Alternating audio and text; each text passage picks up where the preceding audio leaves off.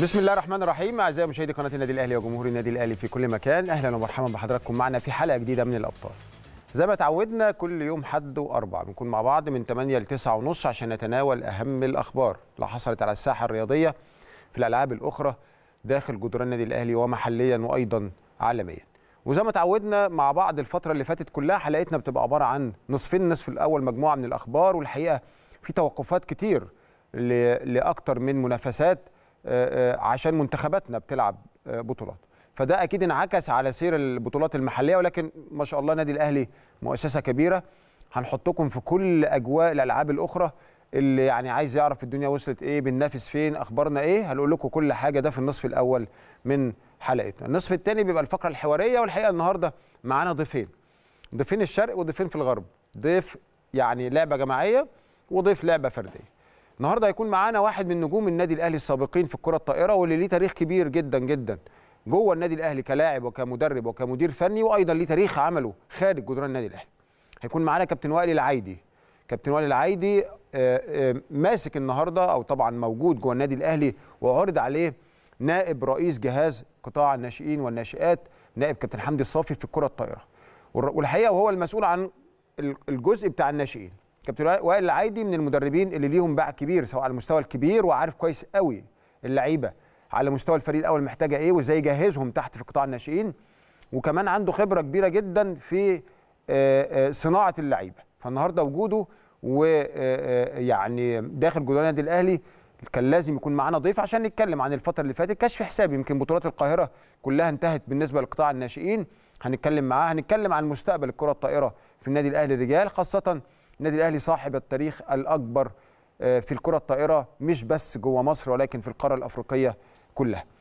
طبعا زي ما حضراتكم عارفين السنة دي في بطولة أفريقيا اللي هتتلعب على صالة الأمير عبد الله الفيصل بمقر النادي الأهلي بالجزيرة رجال وسيدات الكرة الطائرة والبطل بتاعها هيتأهل لبطولة العالم للكرة الطائرة يعني في حدث تاريخي يمكن من أول مرة يحصل في العصر الحديث إن بطل أفريقيا يلعب في بطولة العالم. فنتمنى إن شاء الله تبقى المشاركة الأولى للنادي الأهلي خاصة إن البطولة على ملعبنا ووسط جمهورنا بإذن الله. كابتن العايدي هو يعني ضيفنا الأول. ضيفنا الثاني أسطورة كبيرة. أسطورة كبيرة. حط بين قوسين كده دي حقيقة. علاء أبو القاسم صاحب الميدالية الوحيدة الأولمبية في في سلاح في لعبة السلاح. ودي كانت في أولمبياد لندن 2012 علاء أبو القاسم من أحد أفضل الرياضيين في تاريخ مصر كلها.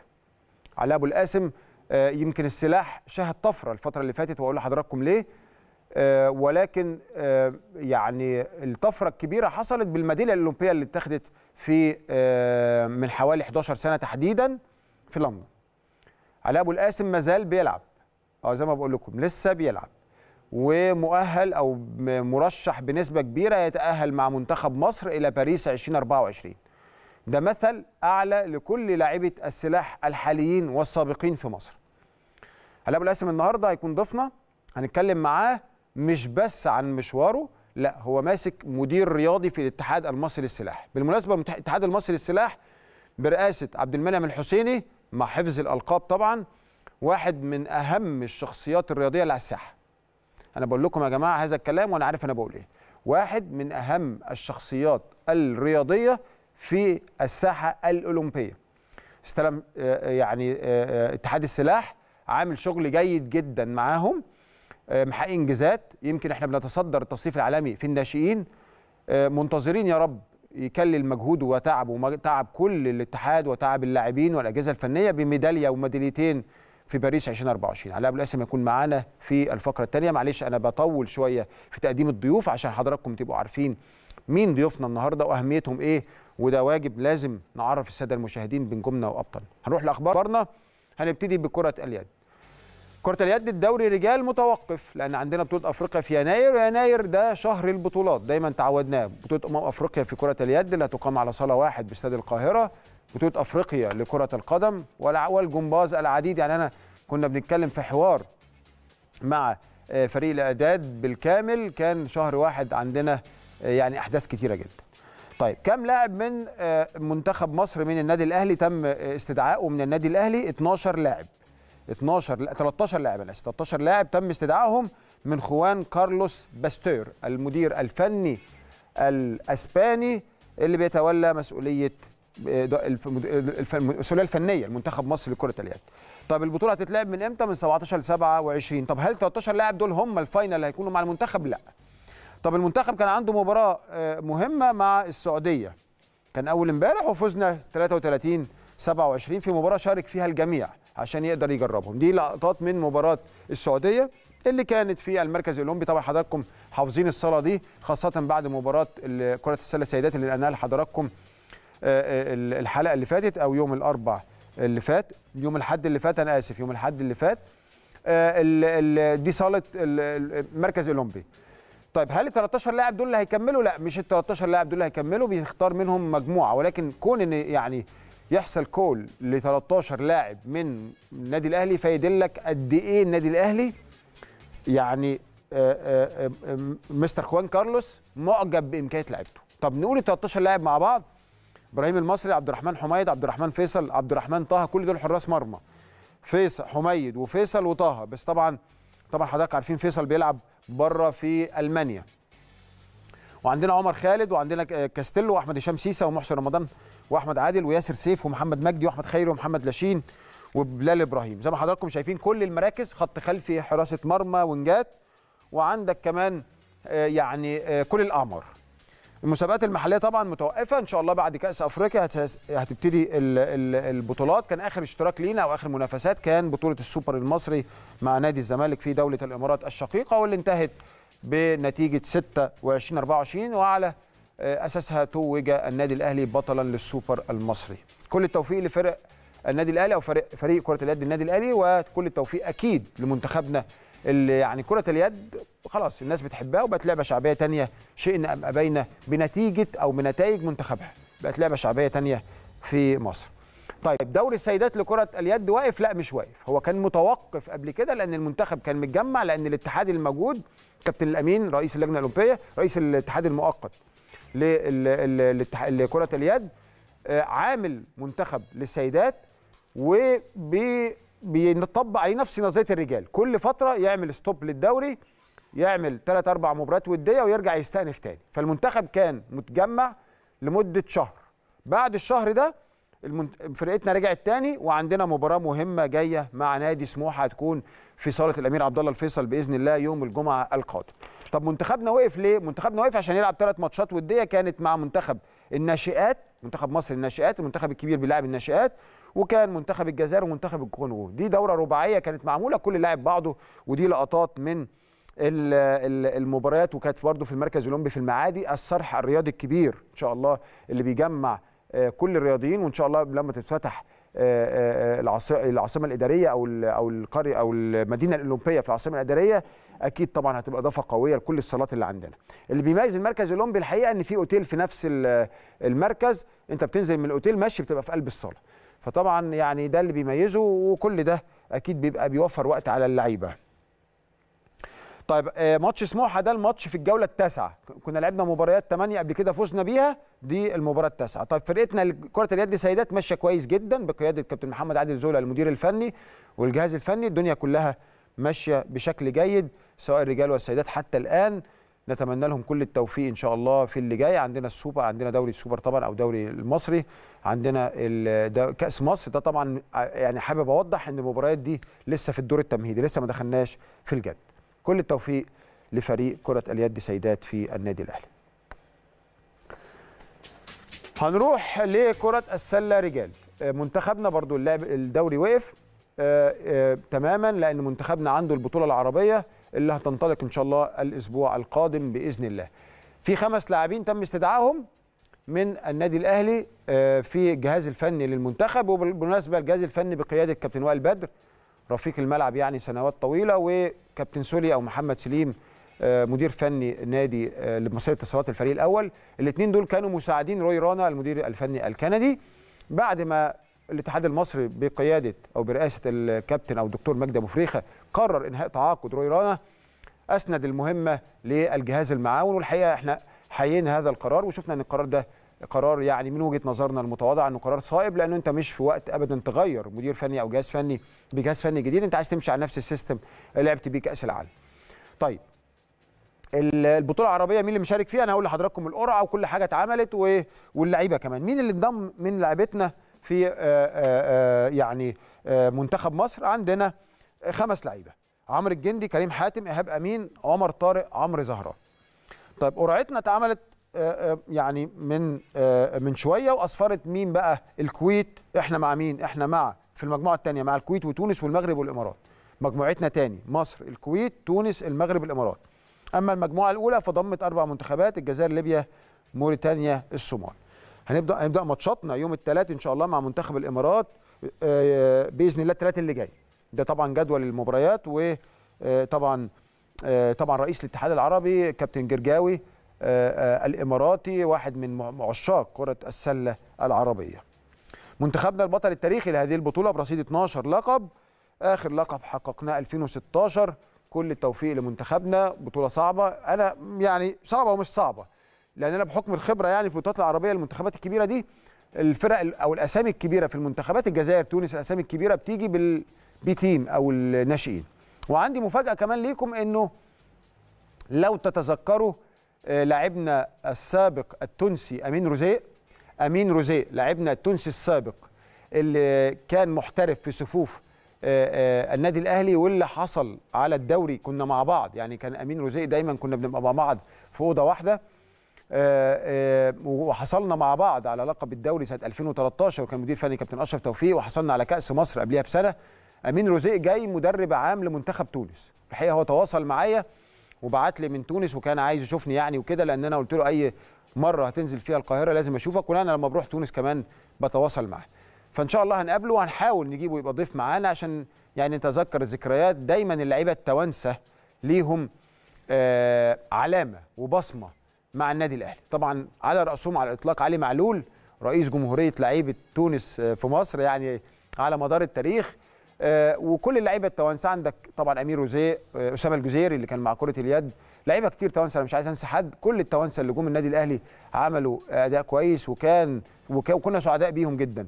سعيدة المحترفة ال- ال- ال- كرة اليد التونسية كل دول كانوا موجودين وعملوا آه، يعني أداء كويس وأدوا في النادي الأهلي بشكل جد. وطبعا قبليهم كل دول طبعا عمهم وعم الدنيا كلها أنيس بوجلبان. طبعا حضرتك فاكرين هذا اللاعب لاعب كرة القدم أنيس بوجلبان. يمكن أنا وعيت عليه وشفته ومن أحد عشاق النادي الأهلي حتى الآن. ولو حضراتكم تفتكروا كل المباريات للنادي الأهلي في تونس أنيس بيبقى موجود وبيساند النادي الأهلي بشكل قوي جدا. إن شاء الله نحاول نجيب أمين معانا بإذن الله الأسبوع الجاي لما يجي ويسمح جدول مبارياته إن يكون ضيف معانا بإذن الله. هنروح لكرة الطائرة رجال ماشيين كويس في مدير فني جديد زي ما حضراتكم عارفين فرناندو مونزو الأسباني. آه يعني آه ماشي بشكل جيد. آه يعني طيب خلينا طب أستأذنكم يا جماعة خلينا نروح للرجال بس نخلص السيدات الأول لكرة السلة. سيدات كرة السلة زي ما حضراتكم عارفين والأسبوع اللي فاتوا اللي فات شفنا آه، آه، لقب منطقة القاهرة وحصدنا ثلاث كؤوس فردية من أصل خمسة. يعني الفرقة كانت شكلها كويس وكان ال final مع الجزيرة الجزيرة مركز ثالث هليوبوليس مركز ثالث. كابتن طارق خيري المدير الفني قفل صفحة الفرقة. ودي طبعا صورة تذكارية آه، برضه في نفس الصالة صالة المركز الأولمبي بالمعادي. كابتن طارق خيري المدير الفني قفل خالص تماما هذه الصفحة وبدأ يرفع الأحمال استعدادا للسوبر. طب مباريات السوبر أو دوري السوبر آه، مستمرة لأن السيدات أو منتخب السيدات ما عندوش مشاركة عربية. المباراة اللي جاية هتكون مع سموحة. أول مباراة لهذا الفريق هتكون مع سموحة في دور ال 16 في السوبر best of 3 اللي بيكسب ماتشين بيتأهل مباشرة. طب يا كابتن هيثم هيكون المرتبط معانا؟ لا شكرا المرتبط خلاص أدى اللي عليه. وانفصل المرتبط عن الفريق الكبير أصبحت المباريات القادمة بالفريق الكبير فقط. طبعا كابتن غزاوي عضو مجلس الإدارة وصورة تذكارية مع الجهاز الفني. وزي ما حضراتكم شايفين الكأس البطولة بطولة القاهرة وطبعا آه، كل اللاعبات. آه، طب الفريق ده يعني للأسف عنده بعض الإصابات آه، في مطالبات بتغيير المحترفة السنغالية اللي هي متواجدة دلوقتي بتلعب بطولة أفريقيا مع سبورتنج. يعني إحنا في كلام إنها تتغير في كلام مش هتتغير. إحنا عندنا طبعا معلومات وعندنا أنباء ولكن إحنا ما بنعلنش عن أي شيء إلا بعد ما النادي الأهلي بيعلن. وده مبدأنا كقناة النادي. إحنا متابعين عن قرب كمحبين للنادي الأهلي. والحقيقة أنا إمبارح يعني قابلت كابتن خالد العوضي صدفة في النادي. كنت متواجد في النادي الأهلي آه، لوقت متأخر إمبارح يمكن الساعة 9:30 10 لقيته موجود وموجود في الملاعب وبيتابع الفرقة تابع كل الفرق الحقيقة. اللي عايز أقوله اللي عايز أوضح إنه ممكن فرقة أو اتنين تتعرض لكبوة. ولكن أنا عايز جمهور النادي الأهلي يبقى عنده ثقة في شيء يعني. والحاجة دي أنا لامسها بحكم وجودي جوه جدران النادي الأهلي ومكاني هنا من الكرسي ده أنا شايف حاجات كتير. ثق تماما ورسالتي دي لجمهور النادي الأهلي إنه في إدارة في مجلس إدارة برئاسة كابتن محمود الخطيب ومجلس الاداره بالكامل وإدارة النشاط الرياضي برئاسة كابتن خالد العوضي. آه، يكاد يعني يكونوا آه، ما بيناموش. عشان يوفروا أحسن وضع للفرق جميعا. فثق تماما. أي drop بيحصل في مسؤولين على أعلى مستوى بيقعدوا يحللوا كل ما آه، آه، كل كل أسباب هذا ال drop أو كل أسباب هذا الإخفاق. ويحاولوا يوفروا ما هو متاح لهذا الفريق أن يستعيد عافيته مرة أخرى. فأنا عايز جمهور النادي الاهلي آه بنزعل لما بيبقى في فرقة ما توفقش. النادي الاهلي دايما إحنا كجمهور عايزين المركز الأول. ولكن خلي عندك ثقة كجمهور النادي الأهلي إن حتى لا قدر الله في حين حدوث هذا الدروب أو هذا الإخفاق مش معنى كده إنه الموضوع متروك للصدفة لا ابدا. النادي الأهلي أنا بقول لك إمبارح لغاية 10 أو 9 ونص قابلت كابتن خالد العوضي. إيه اللي مقعده لغاية دلوقتي في النادي الأهلي؟ بيتابع التدريبات أكيد بيدور على الأحسن. بيشوف إيه إيه إيه الحاجة أو إيه الحاجة اللي ممكن تتعمل عشان فرقنا تبقى الأول دايما. فيا جماعة أنا دايما عندي ثقة ودايما لما بيحصل drop بقول ال drop ده بيبقى بداية النجاح وبداية طريق جديد ممكن ناخده. شفنا أكبر دليل وأكبر عبرة لينا في السنوات اللي فاتت هو فريق كرة السلة. كان عندنا مشكلة دايما في كرة السلة لو تفتكروا. كنا دايما بننادي ونقول يا ده يا أخي ده مش معقول ده إحنا كل الألعاب بتاعتنا كويسة ما عدا كرة السلة دي. النادي الأهلي اشتغل عليها وأصبحنا الحمد لله بقى لنا 3 4 سنوات متربعين على عرش اللعبة مش بس محليا ولكن افريقيا قد نتعرض نتعرض لإخفاق ووضع طبيعي. الإخفاق ده بي- بيتبعه تحليل وبيتبعه إجراءات من النادي الأهلي عشان نستعيد التوازن مرة تانية لأي فرع من فروع الألعاب اللي بيحصل فيها دروب يعني. هنروح لكرة الطائرة رجال. هنروح لمباراة نادي الشمس اللي كانت آه، يعني بتلعب عندنا في الصالة. واستطعنا الفوز الحمد لله بنتيجة 3-0 وزي ما قلت لحضراتكم مدير فني الكرة الطائرة رجال مستر فرناندو مونزو الأسباني هو اللي بيقود الفريق. أنا آسف المباراه كانت على صالة نادي الشمس. دي صور المباراة اللي كانت في صالة نادي الشمس. فريق الشمس فريق محترم جدا جدا. نتائج المباراة خلصت خم- 25 15 25 17 25 آه، 19 إحنا ماشيين الموسم ده بشكل كويس ولكن حتى الآن مفيش اختبار حقيقي. أنا واضح معاكم. إحنا هنا مش بس بنقول وضع الفرقة ولكن بنقول لكم كمان إن إيه ما عندناش اختبار حقيقي حتى الآن اللي بيكون دايما مع منافسنا التقليدي ألا وهو نادي الزمالك. فريقنا هيلعب فرقتنا هتلعب الماتش اللي جاي وده هيكون الأخير في دوري المجموعات وهيبقى مع نادي ديلفي إن شاء الله عشان نتأهل الدور اللي بعد كده. طب كاميرا الأبطال ما كانتش موجودة في الماتش ده الحقيقة كانت موجودة في ماتش نادي الترسانة اللي كان قبل ده على طول. عملنا تقرير آه الأول قبل ما أروح للتقرير خليني بس واقف على الصورة دي. الصورة دي يا جماعة لجناح أسبانيا داخل النادي الأهلي. يعني من الشمال لليمين كده ناخدها من الشمال لليمين. مستر اجوستي طبعا هم كانوا بيتناولوا العشاء الصورة دي طبعا كانت موجودة على ال social media. أنا عايز أوريكم بس الصورة دي قبل ما أروح للتقرير. مستر اجوستي بوش على الشمال المدير الفني ل آه، لكرة السلة رجال. بعد كده مستر داني رئيس قطاع الناشئين والناشئات الأسباني أيضا لكرة السلة. بعد كده مستر ديفيد ديفيس المدير الفني لكرة اليد.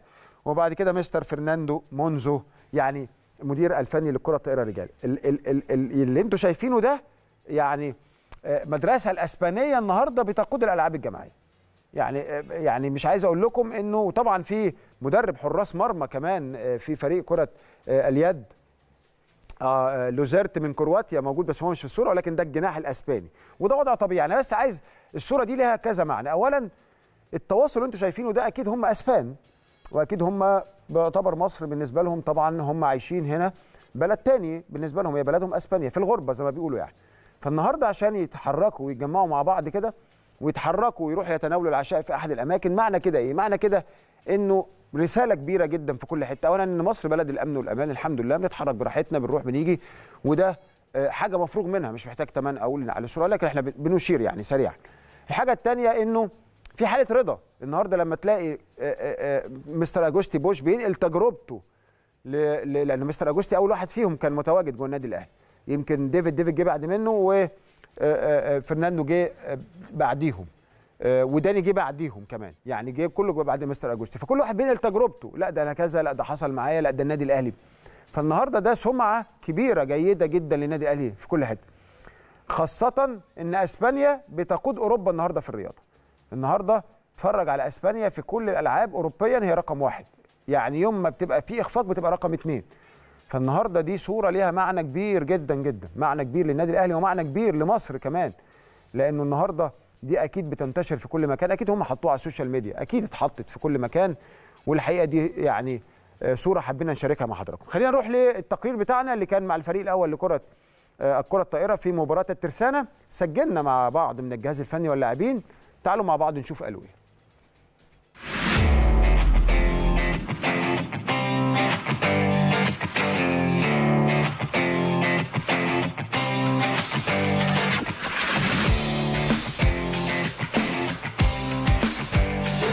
نبدأ بالصغيرين عادي طبيعي. آه كلنا جنب بعض عادي ما, ما فيش يعني حد كبير في الفولي يعني كلنا متكاتفين.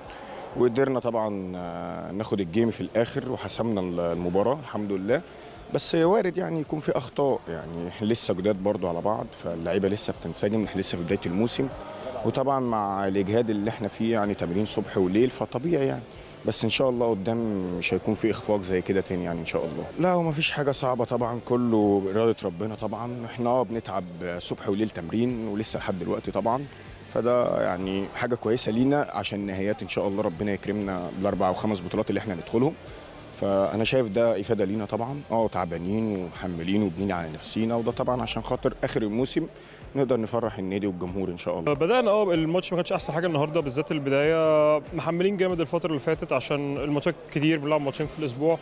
آه، بس في أدوار كتير قبل ما نوصل للنهائيات فإحنا أهم حاجة إن إحنا نوصل للنهائيات بأعلى فورمة ممكنة. فيمكن يعني كان في شوية تعب تمارين كتير صبح بعد الظهر. بس يعني ممكن يبقى في أحسن من كده أكيد. الإرهاق مش عذر يعني بس درس كويس إن إحنا نتعلم منه إن إحنا مفيش ماتش سهل أي ماتش ه- هتبدأ نص نص هيحصل زي ما حصل النهارده بس درس كويس لينا إن شاء الله لقدام. الحمد لله إحنا بنتكلم قبل كل ماتش قبل كل ماتش يبقى في اجتماع. آه، ال volley أكيد بنتكلم فيه بس بنتكلم على إنك إزاي تحضر الماتش إزاي تبقى نازل مركز بادئ أو مش بادئ. بس فبتحاول تنفذ الحاجات اللي الجهاز الفني بيقول عليها سواء volley أو كتحضير للماتش والحمد لله ربنا كرم يعني النهارده. طبعا إحنا ماتش النهارده بنلعب فرقه ترسانه برضه فريق محترم وكويس. آه، كنا بقالنا يومين بنحضر الماتش دوت. أول game بس حصل كده drop بس قدرنا نلم نفسنا الحمد لله وقدرنا نكسبه. بعد كده ال game الثاني والثالث الحمد لله قدرنا نفرد السيطرة من أول الجيمين والحمد لله كسبنا فرق score الحمد لله. إحنا من ساعة ما بدأنا أصلا مع المستر فرناندو بنتمرن كل يوم صبح وليل. طبعا آه، ومدرب الأحمال الكابتن شريف طبعا آه، ده شغال جامد جدا مع اللعيبة ومحملين جامد عشان طبعا الفترة الفترة دي مش الماتشات دي بنستعد لها الماتشات اللي جاية. إن شاء الله الدور اللي جاي لعب آه، معانا سموحه وسبورتنج فبنستعد لهم كويس جدا من خلال الماتشات دي. طبعا إحنا بادئين الموسم كله مش الفترة دي بس تمرينتين في اليوم معسكر ومعسكرات كتيرة طبعا مع مستر فرناندو. فإحنا الحمد لله مقسمين الحمل مظبوط يعني والدنيا ممكن تكون في أول الماتش مش أحسن حاجة الفرقة بتتجانس مع بعضيها بس و بناخد على بعض يعني في الملعب في تركيبات بتتعمل بس الحمد لله بنقدر نلم نفسنا في الآخر يعني وبنرجع تاني الحمد لله. التجانس ده موجود من بدري أو موجود من أول الموسم فعلا لأن الكبار دايما مش محسنا بفكرة أو بالفجوة اللي هي بيننا وبينهم في التمرين أو في الماتشات عامة. لا بالعكس هو لو أنا أحسن من واحد كبير هو بيسيبني ألعب مكانه مش أحسن منه هو بيخليني يعني بيصلح لي. فرق كبير يعني طبعا في السن بس الحمد لله قدرنا نتجانس ونحل المشكلة دي يعني. مفيش فرق كبير مش حاسين بالفرق يعني في الملعب.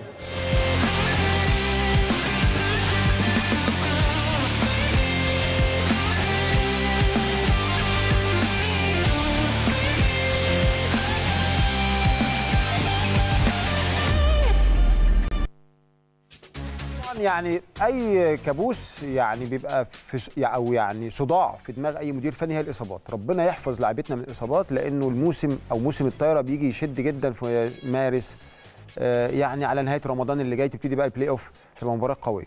أتمنى إن شاء الله إن ربنا يحفظ لاعبتنا خاصة إن أنت ممكن في ثانية ممكن في مباراتين بعد الشر يا رب تلاقي عندك إصابة واثنين تأثر معاك. نتمنى إن إحنا نوصل لل finals إن شاء الله وال playoff وإحنا كاملين العدد. طيب هنروح لخبر تاني ليه علاقة بالكرة الطائرة. آه، شباب الكرة الطائرة دايما بيبقى عندنا على فرق الشباب تحت 19 تحت آه، 18 يعني الفرق اللي بتبقى بيتصعد منها لعيبه للدرجة الأولى. كان عندنا مباراة مهمة لفريق 19 سنة في بطولة الجمهورية آه، آه، للكرة الطائرة ناشئين أو شباب. والمدير الفني بالمناسبة كابتن خالد إبراهيم. كابتن خالد إبراهيم كان لعيب في النادي الأهلي. آه، كان عندنا مباراة مع نادي الزمالك على صاله الشهداء في مقر النادي الأهلي بالجزيرة واستطاع الفريق إنه يفوز في مباراة مهمة في المشوار يعني مشوار بطوله الجمهوريه مباراة مهمة. 3 1 المباراة أو المباراة مشيت إزاي؟ أول شوط الأهلي كسبه ثاني شوط الزمالك كسبه الثالث والرابع النادي الأهلي فاز بيهم ليحسم اللقاء بنتيجة 3 1 ألف مليون مبروك. وأكيد هنتكلم مع كابتن وائل العايدي ضيفنا الأول النهارده في في الفقرة الحوارية آه، عن هذا الفريق ومين المصعد مين ومين أبرز اللاعبين. هنتكلم عن كل القطاع بشكل عام وهنقسم يعني حوارنا معاه آه، ما بين طبعا ال ال ال ال الشغل الأكاديميات وشغل آه، اللعيبة الصغيرين وبعد كده شغل البطولات. أكيد هنتكلم مع كابتن وائل العايدي اللي هيكون ضيفنا بعد آه، الفاصل بعد الأخبار. هنتكلم معاه عن هذا الفريق ودي لقطات من المباراة. وطبعا أنت عشان في ملعبك فبتتخلى عن اللون الرئيسي بتاعك اللون الأحمر وبتلعب باللون الأزرق. براحتك. كابتن خالد إبراهيم المدير الفني قال إن لعيبته كانوا على قدر المسؤولية و وقدموا مستوى مميز جدا على صعيد الضربات الساحقة والهجوم والإعداد والدفاعات المنخفضة. كل التوفيق للكرة الطائرة بإذن الله في النادي الأهلي. خلينا نروح للسيدات. سيدات الكرة الطائرة عندهم مباراة مهمة قادمة مع ديلفي إحنا الحمد لله في الدور الأول فزنا ولكن مهم تاكد ريادتك أنت ماشي بفوز متتالي. وبرضه نفس الكلام ما تحطوش حتى الآن هذا الفريق في آه، اختبار حقيقي. وبحب انوه تاني عن الخبر ان ان شاء الله بطولة افريقيا للرجال والسيدات في الكره الطائرة هتكون عندنا في صالة الأمير عبد الله الفيصل بمقر النادي الأهلي بالجزيرة. ودي حاجة أكيد الاثنين مديرين فنيين آه، سواء كابتن إبراهيم فخر الدين مدير فني السيدات أو كمان آه، آه، فرناندو أكيد عارفين إن دي حاجة مهمة خاصة البطل بطلاي البطولتين دول سواء رجال أو سيدات هرايح بطولة العالم لكره الطائرة إن شاء الله. طيب مباراة ديلفي اللي جاية للكره الطائرة دي هتكون في في المجموعة اللي إحنا فيها وإحنا الحمد لله متصدرين الدوري أو متصدرين مجموعتنا برصيد 30 نقطة. اللي عاجبني في كابتن إبراهيم فخر الدين المدير الفني هو اللي مربع إيده في الصورة دي. كابتن إبراهيم فخر الدين أسطورة على فكرة كبيرة جدا ودي طبعا اللاعبة آه، آه، آه، المنتجرية اللي كانت معانا كمان في آه بوكان اللي كانت معانا في حلقة من الحلقات. آه، آه، وبتشارك بانتظام مع الفريق دي طبعا فرقتنا بالكامل في صالة الشهداء. كابتن إبراهيم فخر الدين من المدربين اللي أنا يعني الحقيقة آه، وأنا لعيب حتى كان هو بيمرن الفرق. يعني إحنا كنا مثلا نتمرن وهو كان ماسك فريق كرة الطائرة رجال فكنا نشوف تمرينه ونشوفه بيعمل إيه. الحقيقة الراجل ده من الناس اللي بتحب تقفل على فرقتها وما تسمعلوش حس ولا تسمع للفرقة حس طول الموسم. بيتمرن بس بيلعب بس بيشتغل بس. فكابتن إبراهيم فخر الدين يعني هو ده. وهو يعني آه، دقيق جدا حازم جدا جدا. يعني كابتن إبراهيم فخر الدين من المدربين اللي ليهم سيطرة كبيرة جدا على أي فريق يمسكه. وبأمانة ما بيروحش حتة إلا لازم ينجح. هو كده. كل التوفيق ليه يا رب إن شاء الله. ومع بداية المنافسات والاختبارات الحقيقة من نادي الزمالك نتمنى إن شاء الله فرقتنا تبقى عند الموعد كما تعودناها آه، الموعد المناسب. كده أخبارنا خلاص. جوه النادي الأهلي خلصت. هنروح لأخبارنا المحلية. وزي ما دايما بنجيب أهم الأخبار اللي هتحصل خلال الفترة اللي جاية أو اللي حصلت خلال اليومين ثلاثة اللي جايين. اتحاد الريشه الطائرة بقيادة الدكتور علي حسب الله. الريشه الطائرة ليها وضع معين أو وضع خاص إن الريشه الطائرة اتحاد بيقود أو بيدير آه، آه، فرعين. فرع الريشه الطائرة للأسوياء وفرع البارالمبي أو لاصحاب القدرات ال- الخاصة. آه، في العادي بيبقى عندنا في آه، اتحاد بارالمبي واتحاد عادي للأصحاء ولكن الريشه الطائرة الاثنين فالحقيقة عنده مسؤولية كبيرة. مصر هتنظم على أرضها. هتحتضن طبعا آه، بطولة مصر الدولية ريشة الطائرة لذوي القدرات الخاصة. بطولة مصر تاني بطولة مصر الدولية لريشة الطائرة لذوي القدرات الخاصة. البطولة دي هتتلعب إمتى؟ هتتلعب من 23 28 يناير اللي جاي بإذن الله. اتحاد ريشة الطائرة برئاسه الدكتور علي حسب الله قرر إقامة النسخة الأولى من بطولة مصر الدولية لذوي القدرات الخاصة على صالة رقم 3 و4 باستاد القاهرة الدولي بمدينة نصر. وقال الدكتور علي حسب الله رئيس اتحاد الريشة الطائرة إنه بيحاول يشتغل مع اعضاء مجلسه بشكل متواصل عشان تطلع أو تطلع البطولة بأفضل شكل وبمظهر آه، يعبر عن شكل مصر وصورتها الحضارية الكبيرة وفقا لرؤية الجمهورية الجديدة بالاهتمام بالاهتمام بذوي القدرات والإعاقة الخاصة. وأكد أن وزارة الرياضة أو وزارة الشباب والرياضة تحديدا دعمت الاتحاد في الفترة اللي فاتت عشان نقدر نجهز البطولة بشكل محترم يليق باسم وسمعه مصر في وسط الدول الكتيره المقترح مشاركتها في البطولة دي. أنا عايز أقول حاجة يعني إنه ما يخفاش على أحد إن الفترة اللي إحنا عايشينها دي هي يعني الفترة الذهبية لذوي القدرات الخاصة وأصحاب الهمم. وكان لنا ضيوف كتير جدا أبطال على الترابيزة دي على ترابيزة الأبطال. وفي الوقت اللي هم ما بيلعبوش جوه النادي الأهلي أو النادي الأهلي ما بيحتضنش الألعاب دي ولكن آه، دول الأبطال الحقيقيين أبطال القدرات الخاصة وأصحاب الهمم هم دول الأبطال. لأنه بيتحدى أو بيبقى في منافسات بيتحدى المنافسين وفي نفس الوقت بيتحدى إعاقته. فدول الحقيقة أبطال حقيقيين. والعصر اللي إحنا عايشينه ده بأمانة هو العصر الذهبي لذوي القدرات الخاصة. اهتمام غير مسبوق من الدولة المصرية بأصحاب آه، الهمم والاهتمام جاي من ناحيتين. جاي من وزارة الشباب والرياضة ووزارة التضامن. دايما بنلاقي وزارة التضامن داخلة في دعم دعم كبير لنشاطات آه، أصحاب الهمم أو آه، ذوي القدرات الخاصة. وليه لأ؟ ممكن في حلقة من الحلقات نجيب أحد المسؤولين من وزارة التضامن المسؤول عن دعم أو الملف ده في الوزارة. هنشتغل على ده ونحاول نجيبه لحضراتكم في على طبعا شاشة قناة النادي الأهلي. هنروح لخبر تاني أو الخبر الأخير بقى معانا وهو خبر آه، يخص النشاط ال- ال- المحلي في مصر. آه، اتحاد الريشه الطائرة بيقوده واحد من أبرز الشخصيات الرياضية زي عبد المنعم الحسيني زي آه، شريف آه، العريان مهندس شريف العريان. أنا مش عايز أنسى حد في مجموعة كبيرة بترقص اتحادات ناجحة الحقيقة موجودة في مصر آه، آه، منهم الاثنين دول. بس أنا الخبر ده عن مهندس شريف العريان. الاتحاد الدولي للخماسي الحديث والخماسي صاحب ميدالية الفضية آه، في آه، آه، طوكيو 2020 واللي قفزت بيها مصر في الترتيب كبير ترتيب الجندي طبعا اللي كان خد الميدالية دي. الاتحاد الدولي بينظم حفل كل سنة وبيبتدي يوزع فيه جوائز. بعد بكرة بإذن الله هيتعمل الحفل ده. ده بتاع 2023 بيجي في نهاية في ديسمبر 20 في آخر في آخر كل سنة. وبينافس فيها الاتحاد المصري برئاسة المهندس شريف العريان على عدة جوائز. طيب مصر كانت حققت السنة اللي فاتت خمس جوائز من أصل 12 جايزة أعلن عنهم الاتحاد. آه زي ما بقول لكم كده. يعني تقريبا بنتكلم في 40% اولموست من جوائز الاتحاد الدولي مصر خدتهم السنة اللي فاتت. والجوائز دي مهمة. صدقوني مهمة لأن هم بيقيموا الناس كويس. وبيقيموا نشاطك و... و... وبيقيموا أدائك. أنا آسف كمان. مصر السنة اللي فاتت حققت جائزه أفضل اتحاد في العالم. لسه بقول لكم. وكمان حققنا جائزه أفضل بطولة تم تسويقها من خلال تنظيم بطولة العالم للكبار واللي اتلعبت على ملعب أو ملاعب الأكاديمية العربية للعلوم والتكنولوجيا والنقل البحري بإسكندرية. وكنا عن نوهنا عن البطولة دي السنة اللي فاتت لو تفتكروا. السنة دي هي كانت السنة دي يعني أو الموسم اللي فات. وكمان كنا كسبنا جائزة أفضل تنظيم لبطولة عالمية للكبار وهو تنظيم كأس العالم للكبار في ملاعب الجامعة الأمريكية بالقاهرة. وكمان فاز محمد الجندي بجائزة أفضل لاعب ناشئ في العالم تحت 21 سنة. كمان فاز معتز وائل بجائزة أفضل لاعب ناشئ شاب تحت 19 سنة في العالم في الع... في, المد... في, ال... في السنة اللي فاتت. ده صورة محمد الجندي. اللي أنتم شايفينها دي صورة محمد آه محمد الجندي أهو. محمد الجندي. أنا عايز أقول لكم إن يعني الخماسي بنعول عليه كلنا كل المهتمين بشأن الرياضي في مصر بنعول عليه عشان آه، يعني عدد ميداليات كبير أو على الأقل ميدالية أو اتنين على الأقل في الأولمبياد اللي جاية باريس 2024 2024 أولمبياد هت... هتبقى في شهر 8 يعني خلاص بدأ العد التنازلي. هتقولي ده فاضل 8 شهور ولا حاجة. اللي اتأهل اتأهل خلاص. فاضل بعض المنافسات. يمكن البطولة الألعاب الأفريقية اللي جاية دي هيبقى في بعض المنافسات اللي هتبقى مو... يعني داخلة فيها. بس 80 90% خلاص. كله اللي ذاكر ذاكر واللي اتأهل اتأهل. كل التوفيق للاعبتنا وإن شاء الله يبقى نتائج جيدة. أفضل من طوكيو 2020 لأن مصر تستحق كده.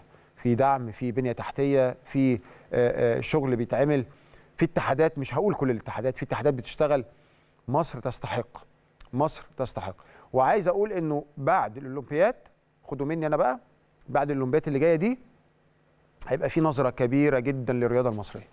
بعد الأولمبياد اللي جاية إن شاء الله هيبقى في نظرة كبيرة جدا في ال- ب- للرياضة المصرية بشكل عام عشان نقدر الرياضة المصرية تواكب روح الجمهورية الجديدة. لأنه النهارده أنت عندك كل حاجة. أنا والله العظيم يا جماعة مش بقول الكلام ده أنا بقوله يعني الواحد مر ب ب ب يعني آه، يعني بشاف أكتر من وضع سواء بره مصر أو جوه مصر. البنية التحتية اللي بتعمل رياضيه في مصر تنظيم البطولات. إحنا النهارده كنا فين وفين لما بنلاقي بطولة على مصر وكان بيبقى آخرنا بطولة أفريقية. كل البطولات كل الدعم وزارة الشباب والرياضة داخلة معاك في كل حاجة. ممثلة الدولة المصرية.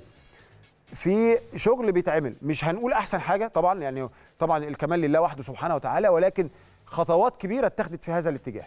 فلازم يكون ده قصاده نتائج. لازم يكون قصاده نتائج نتائج أولمبية لأن الرياضة لما بتنهض في أي دولة ده بيدل إن الدولة نهضت بشكل كامل. هنطلع لفاصل أعزائي المشاهدين عشان نستقبل ضيوفنا. وزي ما نوهت في أول الحلقة في الإنترو عندنا اتنين ضيوف النهارده. كبار كابتن وائل العايدي مساعد رئيس قطاع الناشئين والناشئات في النادي الأهلي وهو المختص عن قطاع الناشئين وأحد نجوم النادي الأهلي وده اللي هيبقى الضيف اللي جاي على طول.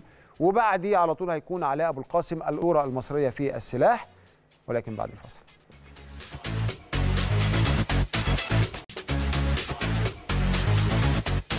أهلا بحضراتكم من جديد وفي البداية برحب بكابتن وائل العايدي آه، طبعا نجم النادي الأهلي السابق ومنتخب مصر وحط تحت نجم دي طبعا لأنه هو لاعب كان مؤثر جدا جدا وصاحب يعني بطولات عريضة مع النادي الأهلي وهو مساعد لكابتن حمدي الصافي ومختص بقطاع الناشئين في الكرة الطائرة في النادي الأهلي. أهلا بيك يا كابتن وائل. أهلا بيك كابتن هيثم واهلا بجمهور شاشة قناة النادي الأهلي. وحشنا يا كابتن بقالك كتير يعني غايب عنا. طبعا نتيجة عملك بره وبتاع ولكن آه، آه، إحنا بننتهز الفرصة طبعا حضرتك معانا. وهنبتدي في البداية خالص. حضرتك آه، إزاي اتعرض عليك إن أنت تبقى مع كابتن حمدي الصافي؟ مين اللي كلم معاك؟ آه، بعد ما قابلت المسؤولية فكرت إزاي؟ يعني كلمنا عن بداية الأمر كله. طيب بسم الله الرحمن الرحيم. طبعا هو يعني النادي الأهلي ليه يعني طريقة معينة كده في في اختيار ال- الناس اللي بتشتغل فيه وفي طريقة معينة في في ترتيب الأمور يعني البيت نعم، من جوه يعني. نعم. فطبعا هو كابتن حمدي صافي هو اللي كان كان المفروض إن هو بيرشح الأسامي. تمام. وطبعا بيتم بعد كده التوافق عليها من خلال النشاط الرياضي وتقديمها مجلس الإدارة. وبرضه بيحصل لازم موافقه من جوه مجلس الإدارة على. الأسامي المطروحة يعني. قبل ما تطرح بيبقى في موافقة شفويه طبعا. بالظبط كده. طبعا. فطبعا هو لو اتعرض عليا طبعا ورغم إن أنا كنت ماسك مدير فني فريق درجة أولى في الدوري الممتاز لكن يعني النادي الأهلي طبعا الواحد كان حابب إن يخوض فيه التجربة خصوصا إن هي تجربة يعني جديدة شوية لأن وفي أي مكان يا كابتن؟ انت آه، انت بالنسبة لك يعني بالنسبة لك وجودك جوه النادي الأهلي أو نداء النادي الأهلي ليك انت أكيد تحت أمرك. أكيد طبعا أكيد طبعا دي ما يعني بس طبعا عارف الواحد يعني برضه الواحد بيبقى يعني يعني أمين شوية مع نفسه. لو. الواحد بيقدر يعني يساهم أو يضيف حاجة في مكان اللي هو يقدر يروح فيه طبعا أكيد ما بيتأخرش. لكن لو لقى إن الدنيا بتبقى صعبة أو صعب إن هو يضيف حاجة الواحد أنا عن نفسي بفضل إن أنا أعتذر عشان الواحد يبقى شفاف أو واضح من الأول يعني. آه، طبعا حاجات كتير قوي شجعت الواحد إن هو يخش النادي الأهلي تاني طبعا. اولا المجموعة اللي موجودة. سواء آه، من المجموعه النشاط الرياضي أسهم كابتن مهندس خالد العوضي. طبعا شخصية محترمة جدا وراجل برضه زميل ملاعب ونعرفه من زمان. أكيد. آه، كابتن حمدي الصافي طبعا برضه كان زميلي في الملعب فترات طويلة في النادي الأهلي. وواحد طبعا يعني يشرف إن هو يشتغل معاه أو تحتيه يعني ما فيش فيه أي مشكلة خالص. ومعانا طبعا كابتن ياسر صلاح آه، وكابتن يسر عبد الكريم طبعا دول الناس المسؤولة عن الهيدز اللي هي بتاعة ال- الإدارة في جوه الفنية جوة النادي الأهلي. في قطاع الفولي. فأنا بالنسبة لي طبعا كانت آه، موافقة مبدئية وقعدنا مع مهن- باشمهندس خالد العوضي واتكلمنا في حاجات كده شوية لأن طبعا أنا برضو كنت ولي أمر في النادي الأهلي وعندي ولادي اللي لعبوا الثلاثه في النادي الأهلي منهم لسه أخد عارف، شغالة يعني. عارف الله أكبر. فالواحد عارف مشاكل القطاع. فإحنا كنا صراحة معاه من الأول واتكلمنا في اللي إحنا شايفينه من وجهة نظرنا والمشاكل اللي موجوده آه، وطلبنا حاجات معينة إن النادي يقف ظهرنا فيها والحمد لله كانت في توافق على ال- الرؤى يعني. وحبينا إن إحنا نكمل بقى طبعا العظماء اللي سبقونا في القطاع طبعا كلها أسامي كبيرة طبعا عشان ما ننساش حد لكن أكيد كلها أكيد. يعني الناس كلها ذو تاريخ في النادي الأهلي. وأضافوا كتير للقطاع. وحبينا إن إحنا نكمل يعني ب... مش عاوز أقول روح شباب إحنا كبرنا برضه آه، ولكن يعني يعني بروح شوية جديدة شوية إن إحنا نحاول نعمل يعني ما, ما نقدر عليه يعني في القطاع السنة دي كده ونشوف التجربة تمشي إزاي نقيمها في آخر السنة. ممتاز يا كابتن. طيب إيه، حضرتك بدأت خلاص قابلت إيه، رؤى معينة وتم الدعم في هذا الاتجاه. بدأنا نحط استراتيجيات فنية مع كابتن حمدي الصافي. طبعا النهارده لما أتكلم على حمدي اشيل القاب معلش كابتن حمدي الصافي كابتن وائل- العادي حمدي الصافي وائل العادي ياسر صلاح يسرى عبد الكريم الأربعة إحنا بنتكلم على أربعة كل واحد فيهم يستطيع أن يقود فريق أول بينافس في الدوري وياخد بيه الدوري. فالنهاردة أنت جايب أربع أسامي آه، تقال جدا. أكيد في استراتيجيات أنتوا قعدتوا حطيتوها.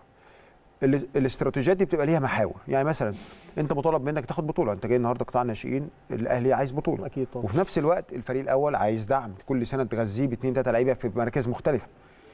ففي محاور كتيرة. اتكلمتوا في ده في الأول واتناقشتوا فيه واتفقتوا عليه يا كابتن. طيب طبعا خلينا واضحين طبعا في حاجة إن نمرة واحد طبعا النادي الأهلي نادي بطولات. دي ما فيهاش طبعاً. شك وما فيهاش كلام ومحدش هيقبل غير غير كده من أي حد يكون موجود في موضع مسؤوليه يعني. الحاجة الثانية اللي أنا كنت فعلا آه، مهتم بيها جدا إن إحنا إزاي نضخ لعيبة من قطاع الناشئين في آه، في الفريق الأول طبعا في البنات هي الموضوع أسهل شوية آه، لأن البنات يعني من سن 16 17 سنة بيقدروا يلعبوا في الدرجة الأولى آه. لكن في الولاد صعب قوي. آه، صعب إن أنت تلاقي حد مميز قوي يقدر يخش وسط العتاولة أو وسط الناس اللي موجودة في الدرجة الأولى لازم يستوي الأول جدا بالظبط آه, آه. آه. فكان الهدف الأساسي إن إحنا نشتغل إن إحنا نشوف اللعيبه المميزين نحاول نساعدهم إن هم يخشوا جوه القطاع وطبعا اللي يعني جوه جهاز الفريق الأول اللي بيفرق برضه رؤية واستراتيجية الفريق الأول لأن في ناس. بتحب إن هي تعتمد على لعيب جاهز وما تديش فرصة للناشئ أو لو استعانت بناشئين في أضيق الحدود لاستكمال بس اعداد أعداد أو طب أنتوا. لقيتوا إيه؟ بصراحة لا يعني هي عاوز أقول لحضرتك حاجة برضو هي الخلاف ما بيننا وبين الفكر ال- الأجنبي شوية ده موجود في أوروبا وحتى إحنا كنا دايما بنستغربها يعني آه. حتى في الدوري الإيطالي اللي هو أعظم دوري والدوري البولندي أكبر الأعظم دوري والدوري. التركي طبعاً. الناس ما حدش بيجيب فرقة كاملة يعني لو كانت القايمة 18 أو 20 ما حدش بيجيب 18 أو 20 اسم أو 18 أو آه. 20 عقد كبير ما حدش ما بتحصلش هو اللي بيحصل إن بيجيب 3 4 عقود عالية. جدا وبيجيب الباقي في وسط ناس بتخدم عليهم 3 4 والباقي بيستكمل بيهم القايمة وده واقع في كل أندية أوروبا لأن حضرتك عارف أقول لك على حاجة يا كابتن. اتفضل. انت جدتني انت ما شاء الله عليك والله أنا قاعد مركز معاك قوي. انت اديتني إجابة النهارده ليه نادي الزمالك تفوق السنتين اللي فاتوا. شكرا. ليه بقى؟ نادي الزمالك 3 4 بالظبط. 3 4 والباقي بيخدموا عليهم. حتى في البنات مفيش تغييرات آه. بره تقريبا. 3 4 بالظبط. وبيتخدم عليهم ب... مش بيتخدم بمعنى تخدم إحنا بنتكلم بلغة الكورة يعني. هي- آه. إحنا بنتكلم يعني إيه؟ يعني بيبقوا كل واحد ليه دوره بس. العواميد الأساسية 3 4 مش بالظبط 18 كده. لاعب عواميد بالظبط كده يعني أشكرك انت أنت وضحت لي حاجة خلينا واقعيين هو هو الزمالك يعني رغم إن هي ماتشات في السنتين اللي فاتوا في القطاع الولادي أو في أو في الرجال كانت مقفولة 3 2 كلها. وماتشات كان فيها ماتشات فاصلة لكن ال- اللي عمل النقاط الحسم في الأخير الاثنين محترفين مم. يعني خلينا. واقعيين برضه. هو كان توفيق في اختيار اثنين محترفين عرفوا إزاي يجيبوا بس كونهم يوصلوا معانا نقطة بنقطة دي كانت في حد ذاتي بالنسبة لي استغراب. آخر سنتين معلش مهما كان المحترف اللي هناك قوي. أنا كنت ببقى بقول إن دايما فرقتنا تقدر تنافس. بس اني anyway آه، يعني ده وضع طبيعي وما بتمشي نقطة بنقطة أنت وارد تخسر. يعني بالظبط. في توفيق وعدم توفيق. ولكن أرجع تاني لموضوعنا. إن حضرتك قلت إن لقيت فكر تاني خالص إنه بالعكس هو مرحب بالناشئين. مستر فرنانديز إحنا السنة دي آه، أصلا برضه ما أقدرش أقول إن أنا عملتها إحنا إحنا فعلا عندنا لعيبة مميزة في القطاع لكن السنة دي آه، الراجل آه، خد ثلاثة من بداية ال season خالص. مين بقى كابتن؟ يعني إحنا عندنا طبعا من فريق 19 آه، حمزة الصافي. حمزة الصافي. بالظبط. وخد معاه كمان اثنين من فريق ال 17 آه، شريف.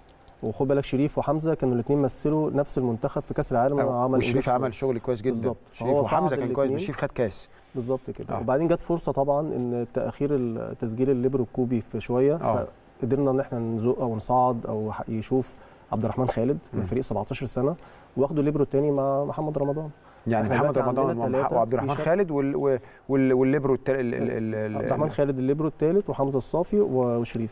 ممتاز. جدا. التلاتة دول بي- بيشاركوا ف- بصفة مستمرة معاهم. بالظبط بالظبط. حلو جدا. بالظبط. فده برضو يعني طيب آه ده بالنسبة إن أنت بت بت بتنسق مع الفريق الأول. أكيد أكيد. طيب بالنسبة اتصال على طول معاهم. بالنسبة هل في حد promising تاني شايفه؟ ممكن يكون إضافة للثلاثي ده خاصة إن أنت برضو بيبقى وضع طبيعي ممكن كمان سنتين ثلاثة هتلاقي في ناس تبطل فوق وهتبقى هل في plan ليه يعني دول مثلا نقول دول level A أو level A يعني رقم ألف. أكيد هيبقى عندك حاجة تانية level B أكيد طبعا. أكيد وإحنا ممكن فعلا بالظبط. بالظبط ده اللي إحنا عاملينه. بالظبط. يعني إحنا عندنا برضو معدة فريق 19 سنة آه، محمد ياسر ممتاز. بس محمد طبعا ياسر. وجود عبد الله عبد السلام. وحسام يوسف الاثنين. آه. لا يعني مأخر شوية إن هم بس ربنا يحميهم ويحفظهم يعني. الله أكبر عليه ف- وعبد الله يعني كمان. مأخر شوية إن هو يخش. بس. قصدي لا لعيب promising جدا كويس. جدا. مم. فطبعا لا في القطاع في في مواهب كتير. التلاتات يا كابتن عندنا تلاتات طالعين كويس ثلاثات عندنا أطوال آه، الشاسيهات دي بتبقى صعبة. اللي عندنا أطوال كويسة جدا. آه، ناقصهم بس خبرات وان. هم يتمرنوا يعني ممكن نلاقي زي بصفة سعودي قريب؟ يعني عندنا حد بطول سعودي؟ آه، لا عندنا أطول من سعودي. أطول من سعودي؟ الله أكبر. طب حلو عندنا جدا. في 17 سنة أحمد جمال بسم الله ما شاء الله 2 متر 12 الله أكبر. الله فعندنا أكبر. ولسه قدامه ثلاث سنين في قطاع الناشئين. عندنا برضو إبراهيم 2 متر 3 عندنا أحمد ممدوح حوالي 2 أنا متر كنت 4 فاكر إن السعودي ده هيبقى أطول واحد طلع من قطاع لا ما شاء الناشئين. الله لا عندنا عندنا عندنا 17 سنة يعني فرقة 15 سنة إحنا بنبني فيها السنة دي. مم.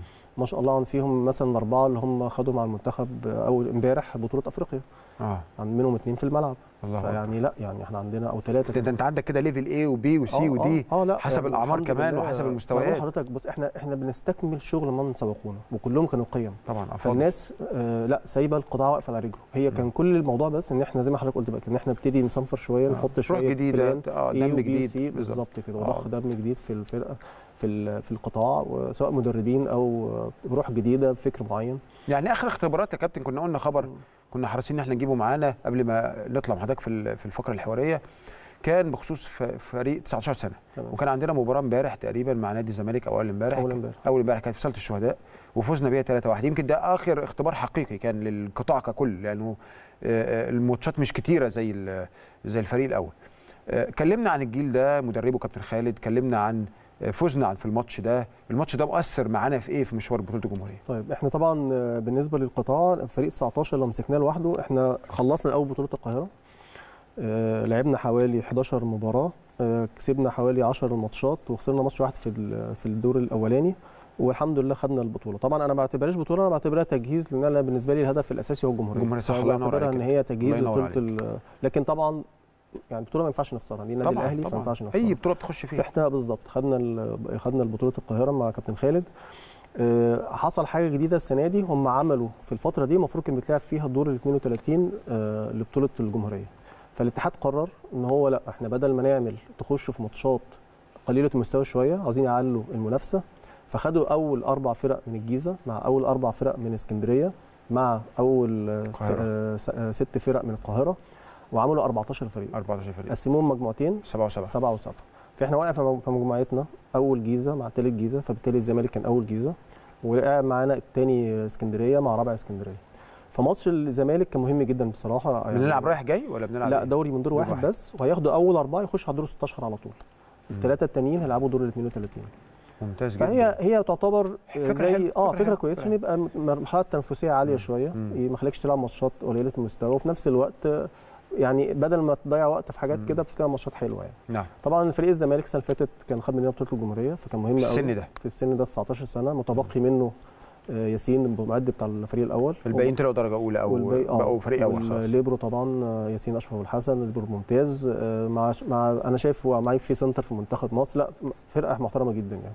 وإحنا الحقيقة الماتش ده كمان بما بنتكلم عنه يعني كان عندنا إصابة لشريف يوسف وهو مصعد من فريق 17 وهو آه. عنصر اساسي آه. فالحقيقة يعني, يعني لعبنا من غيره. بالظبط كده آه. فالحمد لله ربنا كرمنا الولاد طب شريف إصابته كبيرة. ولا عنده مزق حوالي 2 مللي كده في منشأ عضلة السمانة آه يا فإحنا يعني والله إحنا لعبنا كنا بنلعب بس إحنا آه. طبعا يعني دلوقتي مع آه. التكنولوجيا والسونار والحاجات دي آه، فبنفضل إن إحنا آه 2 ندي مللي الولد آه هي بس ده ناتشا بيسموها ناتشا بالظبط بس عشان ما تتوسعش وعلى إيه لا يريح. إحنا الحمد لله برضه. يعني عندنا ثقة. في الولاد وعندنا نور لعب مكانه كان قدم. ثلاث ماتشات في منتهى القوة وممتاز وشال الفرقة وطلع وفرق معانا. والولاد كلهم عملوا ماتشات ممتازة. والحمد لله في ال- في المرحلة دي في ال- يعني لعب لعبنا حوالي أربع ماتشات. الحمد لله كسبنا في 19 الاربع ماتشات وفاضل ماتشين بس خلاص. ما شاء الله. في دي. خلينا نتكلم عن القطاع ككله. كل القطاع عند حضرتك خلص منطقة القاهرة؟ كله؟ القاهرة ولا لسه كلها في حد بيلعب؟ خلصت؟ في معانا طل... أنا بقى لي معايا برضو 13 سنة. يعني معايا أربع فرق تحت 19 17 آه، 15 13 و13 دي أول مرحلة في اللي هي سته في الملعب. هم دول بس اللي فاضل لهم نهائي القاهرة. هم خلاص اتأهلوا فاضل لهم يعني القاهرة نهائيات ولا ماتش واحد 2022. نهائيات ولا ماتش واحد الهيبة خمسة. ده ست فرق دوري من دور واحد يعني خمس. فرق. مجمعة. بس هم متأهلين إن شاء الله يعني مم. عندنا الفريق 17 سنة بقياده الكابتن محمد حسين. الحمد لله برضو لعبنا 10 ماتشات كسبناهم كلهم. اول أول منطقة. القاهرة. شاء الحمد. لله إحنا الثلاث فرق لحد دلوقتي. أول القاهرة. منطقة. بالظبط. الكابتن كريم مجدي فريق 15 و13 سنة. ماشيين كويس رايحين الحمد لله. ما خسروش ولا ماتش. برضه يعني لاعبين حوالي ست ماتشات بست فوز. ما شاء الله. آه بالنسبة لكابتن كريم جمعة طبعا هو واخد سن صعب شوية ده مرتبط ل 15 سنة. لعبنا 11 مباراة برضه 11 فوز. ولعبنا خمس مباريات مرتبط. في المجموعة الأولانية كسبناهم كلهم. فالحمد لله ماشي برضه كويس. والثلاث فرق الحمد لله خدوا أول القاهرة. يعني زي ما قلنا برضو إحنا بالنسبة لنا يعني بنعتبرها تجهيز للجمهورية لأن ده الهدف الأساسي بتاعنا أو البطولة الأسمى يعني. طب كابتن حضرتك لما قعدت عشان تختار المديرين الفنيين اللي هيشتغلوا معاك ما هو هي بشكل هرمي آه، آه، بدأت تتكلم معاه أنت حضرتك 13 في 15 17 19 وهل القطاع التعليمي برضه مع حضرتك يا كابتن صح؟ آه، مع كابتن يسرا كابتن يوسف. كابتن يوسف ماسكه ولاد وبنات. بالظبط. تمام. خلينا ناخد جزء البطولة كان شروطك إيه أو كان ال ال معاييرك في اختياري في اختيار المديرين الفنيين إيه؟ طبعا دي نقطة كويسة جدا لأن يعني الناس أولوياء الأمور في النادي الأهلي برضو بتغفلها شوية ما يقدروا مش قادرين يعرفوا إحنا قد إيه بنتعب علشان نقدر نجيب حد كويس. طبعا الناس برضو اللي كانت موجودة في القطاع قبل كده ناس ممتازة وكلهم كانوا ولاد النادي الأهلي. لكن إحنا رأينا إن إحنا بما ال- القطاع من فوق اتغير فكنا حابين نعمل زي حضرتك قلت كده زي إيه يعني دم جديد. صح صح شوية كده ضغط. دم جديد للفرقه أنا بصراحة تعبت جدا في ال في ال في الناس اللي إحنا نحاول نجيب الناس اللي موجودة. أه لا أنا بالنسبة لي كان نمرة واحد زي ما قلت لحضرتك إن أنا متابع وعارف اللي بيحصل في القطاع. كان في حاجة أنا كنت شايفها إن نمرة واحد عندي روح النادي الأهلي. روح الفنان الحر ده أنا كنت مصمم إن أنا حتى في اختياري لنوعية المدربين مدرب يعرف إزاي يقاتل على المكسب. بالظبط. يدي ينقل روح القتال وروح الفنانة الحمراء للعيبة. ان هي يفتح عليك. بتيجي من المدرب قبل ما تيجي من أي حد تاني. الله يفتح عليك فده كان نمرة واحد. آه نمرة اتنين آه طبعا إزاي بقى المدرب عنده خبرات معينة اشتغل مع فرق درجة أولى عشان يقدر ينقل الفكر بتاع الدرجة الأولى للناشئين عشان نحضرهم يبقى الانتقال في المرحلة الأعلى أسهل شوية بس دي كانت صعبة شوية يا كابتن لأن هو آه آه، بيبقى صعبة. آه كانت صعبة بس أنا أقول لحضرتك برضو حاجة ميزة القطاع في النادي الأهلي إن كل اللي اشتغلوا فيه أسامي كبيرة يعني مم. إحنا يعني آه، لو يعني اديتك جاي مع أسامي كبيرة المثال- already. آه آه، بالظبط آه. يعني حتى يعني مثلا كابتن رضا الغزالي اشتغل في. قطاع الناشئين في النادي الأهلي. كابتن ممدوح آه، إسماعيل كابتن آه، يعني أسامي لا في أسامي كابتن جابر عبد السلام قعد سنين طويلة كابتن حتى الدكتور وجيه حمدي يعني في- لما كان في سننا كان بيشتغل في القطاع قصدي إن قطاع الأهلي لأ قطاع الأهلي بيشتغل في جاذب أسامي محترمة جاذب. جاذب الأسامي الكبيرة إحنا نادي مش قليل نادي. الناس بتحب إن هي تخش فيه آه، زي الناس ما بتخش وبتفيد لاعيبتنا أو بتفيد النادي الأهلي بتستفاد حاجات كتيرة قوي من النادي الأهلي طب كابتن هلا يعني هفتح مع حضرتك قض- قضية شائكة كده شوية ألا وهو الاولياء الأمور يعني كل كل قطاع ناشئين أو ناشئات وإحنا أنا اولادي بيلعبوا وده بيلعب في كل مكان بيبقى أولياء الأمر بيبقى متخيل إن هو مثلا إيه آه، يعني أنا صح أنا شايف إن ابني المفروض مثلا اتظلم شايف إنه حصل حاجة فبيحصل بعض التدخلات من أولياء الأمور بقصد أو بدون قصد من من دافع غيرتهم على أولادهم وده وضع طبيعي جدا يعني في أي حتة. بتتعاملوا مع الموضوع ده إزاي؟ هل آه، يعني ممكن يبقى في حوار ولا بيبقى الموضوع هو كده والفرقة بتبقى وضعها كده وإحنا بنشتغل بما يرضي الله؟ يعني بتتعاملوا مع القضية الشائكة دي إزاي؟ وزي كابتن هيثم يعني حضرتك طبعا فتحت موضوع في ناس بتعتبره شائك جدا يعني. لكن أنا أنا بعتبره موضوع مهم جدا وده كان من على فكرة من من أبرز حاجة اتقالت في أول اجتماع مع كابتن خالد العوضي. لو سمحت كإدارة نادي الأهلي اقفوا في ظهرنا. طالما أنتوا جبتونا وفي ثقة في الأسامي اللي اتحطت يبقى لازم تدونا الثقة دي كاملة. ما تمام ينفعش تبقى كلام. مظبوط 100% فبالتالي ان إحنا بنعمل بما يرضي الله سبحانه وتعالى في في حاجات كتير قوي أنا بالنسبة لي أصل يعني أنا بلعب فولي من 79 صحيح. و... وعلى كل المستويات. يعني بالظبط. آه، آه. ولعبت في نادي صغير نادي أو يعني بالنسبة لي طبعا بالنسبة للنادي الاهلي صغير لكن هو نادي كبير طبعا في ال- في الفولي وفي طبعاً. في الرياضة نادي الطيران وطالع منه. جيت النادي الأهلي عندي 28 سنة وقعدت فيه 11 سنة حققت بطولات كتيرة جدا. فشفت ده وشفت ده منتخب مصر وشفت. معلش أنا في أيامنا إحنا عمرنا ما كان بيخش آه، بابا أو يعني والدي أو والدتي كانوا بيجوا النادي ما كانوش بيجوا النادي أساسا. أنت بتروح كنت بتحايل عليهم. مش يجي يتفرجوا لنا على ماتش أنا وغيري. ف فموضوع اولياء الأمور دوت يعني طبعا كويس إن إن البيت يبقى في. ظهر ال- الولد وكل حاجة. لكن أنا بس أول الشيء حاجة لو زاد حده بالظبط كده. لأن أول حاجة أنا أنا قلت لهم وطلبتهم في اجتماعات مع اللعيبة إحنا بنبني شخصيات. أنا ما ينفعش إن أنت آه، كولد إن حد يجي يتكلم عنك. تعالى كلمني. اعرف إزاي تقود حوار اعرف إزاي تعبر عن أفكارك اعرف إزاي يبقى في. كلام مع المدرب. قلت لهم معايا أنا كمان حتى كمدير أو مساعد مدير قطاع ما فيش مشكلة تعالوا اتكلموا معايا لو خايفين من المدرب أو محرجين منه. أنا ده كان ده هدفي. قلت لهم من فضلكم انقلوا الموضوع دوت لأولياء الأمور. لأن أنا تاني عاوز أبني شخصية ولد. دي نمره واحد. طيب نمرة اتنين طول ما أنا ماشي يرضي الله باللي إحنا شايفينه صح لأن إحنا برضو بني آدمين وارد نغلط لكن أنا طالما شايف يعني بحاول إن أعمل الصح أكيد مش هبقى في موضع يعني ضعف. وبالتالي هعرف أرد على الناس. صحيح. فلو في حد بيتكلم أنا بتكلم على أنا شايف إن أنا صح. وتاني أنا برضو أنا أنا بشر وارد أكون أنا غلط وهو يكون صح بس أنا في حوار. رؤيتي مختلفة شوية. وأنا هتكلم مع اللعيب بالظبط. الحاجة بقى المهمة أنا دلوقتي عندي في فريق مثلا تحت 13 عندي 25 ولد في القايمة. في في الفريق 15 و17 و19 20 ولد. اللي بيسجلوا في المباراة الواحدة 14 اللي بيلعبوا في الملعب 6 ف يا جماعة إحنا دلوقتي نادي الأهلي. أنا ما ينفعش بأي حال من الأحوال أقلب نادي اجتماعي. ما ينفعش. ولا الجمهور هيقبل الكلام ده. ولا الإدارة هتقبل الكلام ده آه صحيح. الإدارة وارد يكون في وقت في في حاجات ماشي في اعتبارات. ممكن يتاخد بس أنا عايز بطولة لكن في الآخر أنا آه أنا, بطولة. هتحاسب على بطولة أنا عايز بطولة بالظبط. وفي نفس الوقت يعني ما فيش مدرب عاوز يخسر وما فيش وأنا دول بقى في الآخر وده اللي بقوله لكل الناس يا جماعة دول ولادي أنا عمري ما هاجي واحد يقول لي طب أنا ابني كويس ولا وحش ما فيش عندي واحد كويس ووحش عندي واحد بيجتهد وعندي واحد إحنا رؤيتنا إن هو في الوقت ده يلعب ونقف وراه ولما المستوى ينزل وابن ابنك أو أو ابنك هيخش. وياخد فرصته بس تمام. يمسك فيها تمام ليه اي مركز فيه ترتيب مم. واحد واثنين وثلاثة وأربعة ودي سنه الحياة دايما بالظبط. المراحل اللي بيلعب وراه نمرة اثنين وراه نمرة ثلاثة والترتيب ده ابذل مجهود أكتر. واشتغل على نفسك أكتر عشان تبقى رقم واحد عمره ما هيفضل مم. هيتغير بقى في التدريب هيتغير في الفرص اللي هياخدها في المباريات هيتغير مع قدر الله يا رب كلام يحفظه له محترم جدا. جدا يا كابتن فده أصل ده الواقع وده يعني أنا دلوقتي تاني أنا ببني أنا في الآخر عاوز اطلع اعمل حاجتين اكسب بطولة واكسب البطوله دي لما يحصل تثبيت ويحصل اكساب خبرات لعيبة وان أنا بعد كده افرز ناس للفريق الأول. إحنا لو الناس تعرف النادي الأهلي على فكرة ما هو قطاع الألعاب الجماعية ده ما بيدخلش فلوس النادي. صحيح النادي اللي بيصرف. النادي اللي بيصرف. آه. وبيصرف دلوقتي لا بيصرف ملايين. ملايين. فمع يا جماعة معلش أنا دلوقتي لو أنا مش عارف أضخ من قطاع الناشئين للفريق الأول ما أنا هفضل النادي هكلفه حتى أنا كعضو طب ما يا جماعة طب ما دي فلوسنا. ما أنا ما أنا. برضه عضو في النادي فدي فلوسي هتروح فين؟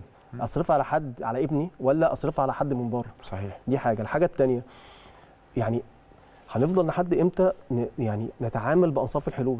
أنا دلوقتي عاوز فرق بطولة عاوز أبني. محدش هيتقبل الجمهور مش هيتقبل خسارة. يعني معلش أنا نادي اجتماعي أنا لا الجمهور ولا إدارة النادي. بالظبط. يعني آه. إحنا نادي تاني ال- الرياضة في في الأهلي نادي الأهلي لو وقعت يعني صدقوني في كل الألعاب ال- كل الالعاب هتقع إحنا من الأندية القليلة جدا في مصر اللي بنشتغل بنشتغل والناس بتيجي التمرين والمدربين بيشتغلوا في رقابة متفرغين. للتمرين يعني النادي وبنفرغ. النادي مديلك كل الإمكانيات عشان. تتمرن بس هل يعقل. ان النادي الأهلي في السنين اللي فاتت في قطاع في الفولي يبقى فيه في مثلا في كل فرقة ماكسيمم اثنين لعيبة في المنتخب عمرها ما كانت بتحصل. إحنا النادي الأهلي كان بيدي ستة سبعة ست ده ب- اللعيبة الأساسي في الاحتياطي كان بيروحوا المنتخب.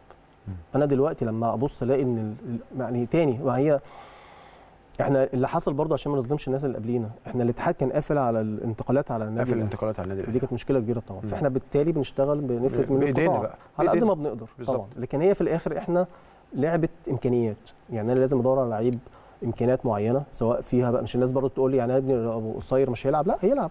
بس لازم يكون عنده نواحي توافقية نواحي رد فعل في حاجات تانية. مرونة. آه. بالظبط. في حاجات تانية تقدر تخليه إحنا الفولي لعبة صعبة مش لعبة سهلة. صعبة جدا. ف... فماشي. لكن أنا برضو بدور على الاطوال أنا دلوقتي ما أعرفش أجيب حد من بره غير مثلا واحد في ال season أو حاجة. ف... ف... فده الواقع. فتقول لي تعمل بتعامل زي ما قال الأمور؟ لا الحمد لله بتعامل. بس أنا تاني حاطط حدود لحاجة معينة. ما حدش يتكلم معايا فنيا. كلمني في إن لو ابنك اتظلم من ناحيتك أو أو زي ما بيسموها إيه يعني في حاجة أخلاقية أو حاجة آه، تعاملية ماشي. لكن فنيا آه. لا دي وجهة. نظر. وغير كده يا فني كابتن وأنا وغير. كده أنت حضرتك قلت كلمة حلوة. تعالى اتكلم معايا. حتى لو فنيا اللاعب نفسه يجي يتكلم مع سيادتك. إيه المشكلة؟ أنا شايف إن أنا كنت آخد في الأول آخد في الآخر. حضرتك بالظبط. وده كنت كان طول طول عمره المتبع. يعني قصدي أقول لحضرتك أنت عايز اللاعب هو اللي يكون شخصيته. بالظبط ودي كده. مهمة جدا. ما حدش يتكلم بالنيابه عنك. كمان أسوأ حاجة في الألعاب الجماعيه حضرتك طبعا أدرى مني يعني وعارف الروح السلبية اللي تبقى على الدكة بره صحيح. يعني أنا دلوقتي لو الولد مش مش مش داخل جوه الفرقة وذهنه حاضر وحابب. الفرقة وحابب ال- المكسب الجماعي وال- والهدف الأسمى اللي بنلعبه مش هنكسب. ده, ده آه طبعا ده روح. سلبية غير آه، طبيعية بره. وخد بالك حضرتك معلش مع احترامي لكل الناس المشكلة جاية من البيت مش جاية من اللعيبه صحيح بيبقى الولاد كلهم بيسمع كلام بيسمع ما شاء الله صفحة بيضاء مم. بس إحنا اللي قدم لها مش, مم، مش بالظبط. مظبوط آه بس خلي يعني بالك دي بس بس كويس ملف كويس بس برافو بتعامل معاه بشكل جيد يا كابتن ودي حاجة كويسة ليه؟ لأن أنت اتعاملت على كل الليفلات حضرتك بتقول حاجة حلوة عندك خبرات ودي ودي العبقرية الحقيقة اللي كانت من النادي الأهلي وكابتن حمدي وإن هم يتكلموا مع حضرتك ومع مع الكوادر دي إنه أنت النهارده عندك يعني آه، آه، بتفكر بشكل إن أنت عايز تعمل استراتيجية وعايز تعمل شغل جوه النادي وعايز توصل بالقطاع لأحسن حاجات يبقى لازم نمشي صح. انصاف الحلول مش هتيجي طيب خلينا نروح لفرع تاني أو آه، يعني آه، آه، أمر آه، آه، مهم تاني. الا وهو الناحيه البدنية. النهارده اللاعب آه، أنت جبت جهاز فني كويس بس الفني ده مش هيبقى لوحده يقدر يشتغل محتاج حد physical يقوم لك اللعيبة على رجليها. خاصة ال physical دي حاجة مكتسبة. يعني ممكن لعيب النهارده تشوفه تلاقيه fit بعد شهر ما يبقاش fit دي حاجة according لتمرينه. عملت إيه في الناحية البدنية؟ أسست إزاي لجهاز يشتغل معاك physical كويس في القطاع؟ طيب هو طبعا برضو إحنا في النادي الأهلي في نظام كل حاجة محطوطة. يعني أنا حتى لما جيت آه، زي ما بيقولوا ال organization chart أو ال- ال- الوصف أو التوصيف بتاع الجهاز كله تنظيمي. موجود الوصف التنظيمي موجود وكان محطوط فيه اثنين عناصر لياقة بدنية بيخدموا على فرق القطاع الولاد ونفس الكلام في البنات. فده موجود وإحنا الحمد لله عندنا اثنين كويسين جدا ودكاترة في كليه تربية رياضية وناس محترمة جدا شغالين مع القطاع كله يا كابتن إحنا شغالين حاليا يعتبر أكتر لأ مع مع الستة في الملعب. حضرتك. عارف هو طبعا القطاع التعليمي شوية بيحتاج شغل footwork أكتر منه طبعاً. بالظبط الاساسيات بت... بت... آه وحاجات رد فعل وتوافق ورشاقة أكتر شوية من ال- السنين الأعلى من كده. السنين الأعلى من كده بنحاول من اول 15 و17 نبني شوية شغل اللي هو بتاع الأثقال بس طبعا بال- بالتكنيك والشغل خفيف شوية مع برضو الشغل ال footwork والحاجات ديت والحاجات شغل على الكوره الحاجات اللي هي مناسبة لل volley يعني. كابتن شايف مستقبل الكرة الطائرة في نادي الأهلي إزاي؟ لا جميل بص حضرتك تاني إحنا إحنا دلوقتي عندنا في المنتخب اللي خلص امبارح بطولة افريقيا تحت 17 سنة. أربع لعيبة وأنا واثق إن كان في منهم كمان واحد على واحد على آه. الاقل يستحق كان إنه يخش. على الأقل واحد انه يخش. غير إن أنا عندي دلوقتي الفرقة يعني لأ تفرح من ال... من الأجيال الكويسة. عارف حضرتك بتبقى دايما في طفرات في أجيال كده. أيوه. لأ فجيل أيوة. أيوة. 15 سنة عندنا جيل ما شاء الله هايل. وبنحاول إن إحنا السنة الجاية من دلوقتي إحنا شغالين على فكرة مش واقفين للسنه الجاية. بنحاول نشتغل إن إحنا ندعم الفرقة السنة. الجاية بحيث إن إحنا نحافظ على الجيل إن دي فرقة مرتبط. ويبقى في تواصل ما بين الأجيال. إحنا المشكلة اللي عندنا الكبيرة إن أنت لما بيكون عندك عدد قليل من اللعيبة الكويسة أو اللي تقدر تشيل أو موهوبة بتضطر إن أنت تحرقهم في عملية التصعيد. يعني أنت آه، واحد بيلعب هنا وهنا. آه طبعا. يعني واحد زي شريف مثلا عبد الرحمن عندنا خالد آه، شايلين فرقتين ال 17 وال 19 م. مع زمايلهم. فبيصعدوا هنا وهنا. ساعات بيضطر يلعب. يعني أقول لحضرتك حاجة أنا عندي كنت بقعد مع مستر فرناندو كده بنقعد نشوف الجدول أروح جايب له كده جدول على الورقة وأقول له بص بقى أنا عندي مثلا 10 أيام أنا عندي 8 ماتشات هنعمل إيه؟ يبص لي كده ويضحك. فطبعا يعني يعني هل فعلا اللعيبه غير بس- طبيعي؟ بس يعني ماتشين 17 آه، ماتشين صعب- 19 ماتشين. درجة أولى. اتصاب على طول. يعني اتصاب على طول. فبنقعد بس هو الحمد لله ما تفهمش كده حضرتك العلاقه بيننا محترمة جدا, جداً. وفيها التنظيم. بيقعد نحط راحاتهم قبل مشاركاتهم وبنقعد ننسقها مع بعض. كابتن وائل أنا بشكرك شكرا جزيلا. كابتن وائل عايدي طبعا نجم النادي الأهلي ومنتخب مصر السابق ومدير قطاع الناشئين ونائب رئيس قطاع الناشئين والناشئات في النادي الأهلي كابتن حمدي الصافي. بشكرك كابتن وائل نورتني وشرفتني. وسعيد جدا وإن شاء الله هتعمل حاجة كويسة يا كابتن. بإذن الله. يكرم يا رب النادي الأهلي طبعا قبل أي حاجة. إن شاء الله. شكرا. أعزائي المشاهدين نطلع لفاصل. بعد الفاصل معانا علاء أبو القاسم أسطورة مصر في السلاح. هنتكلم معاه وما زال بيلعب. هنتكلم معاه عن ميداليته الأولمبية 2012 في لندن.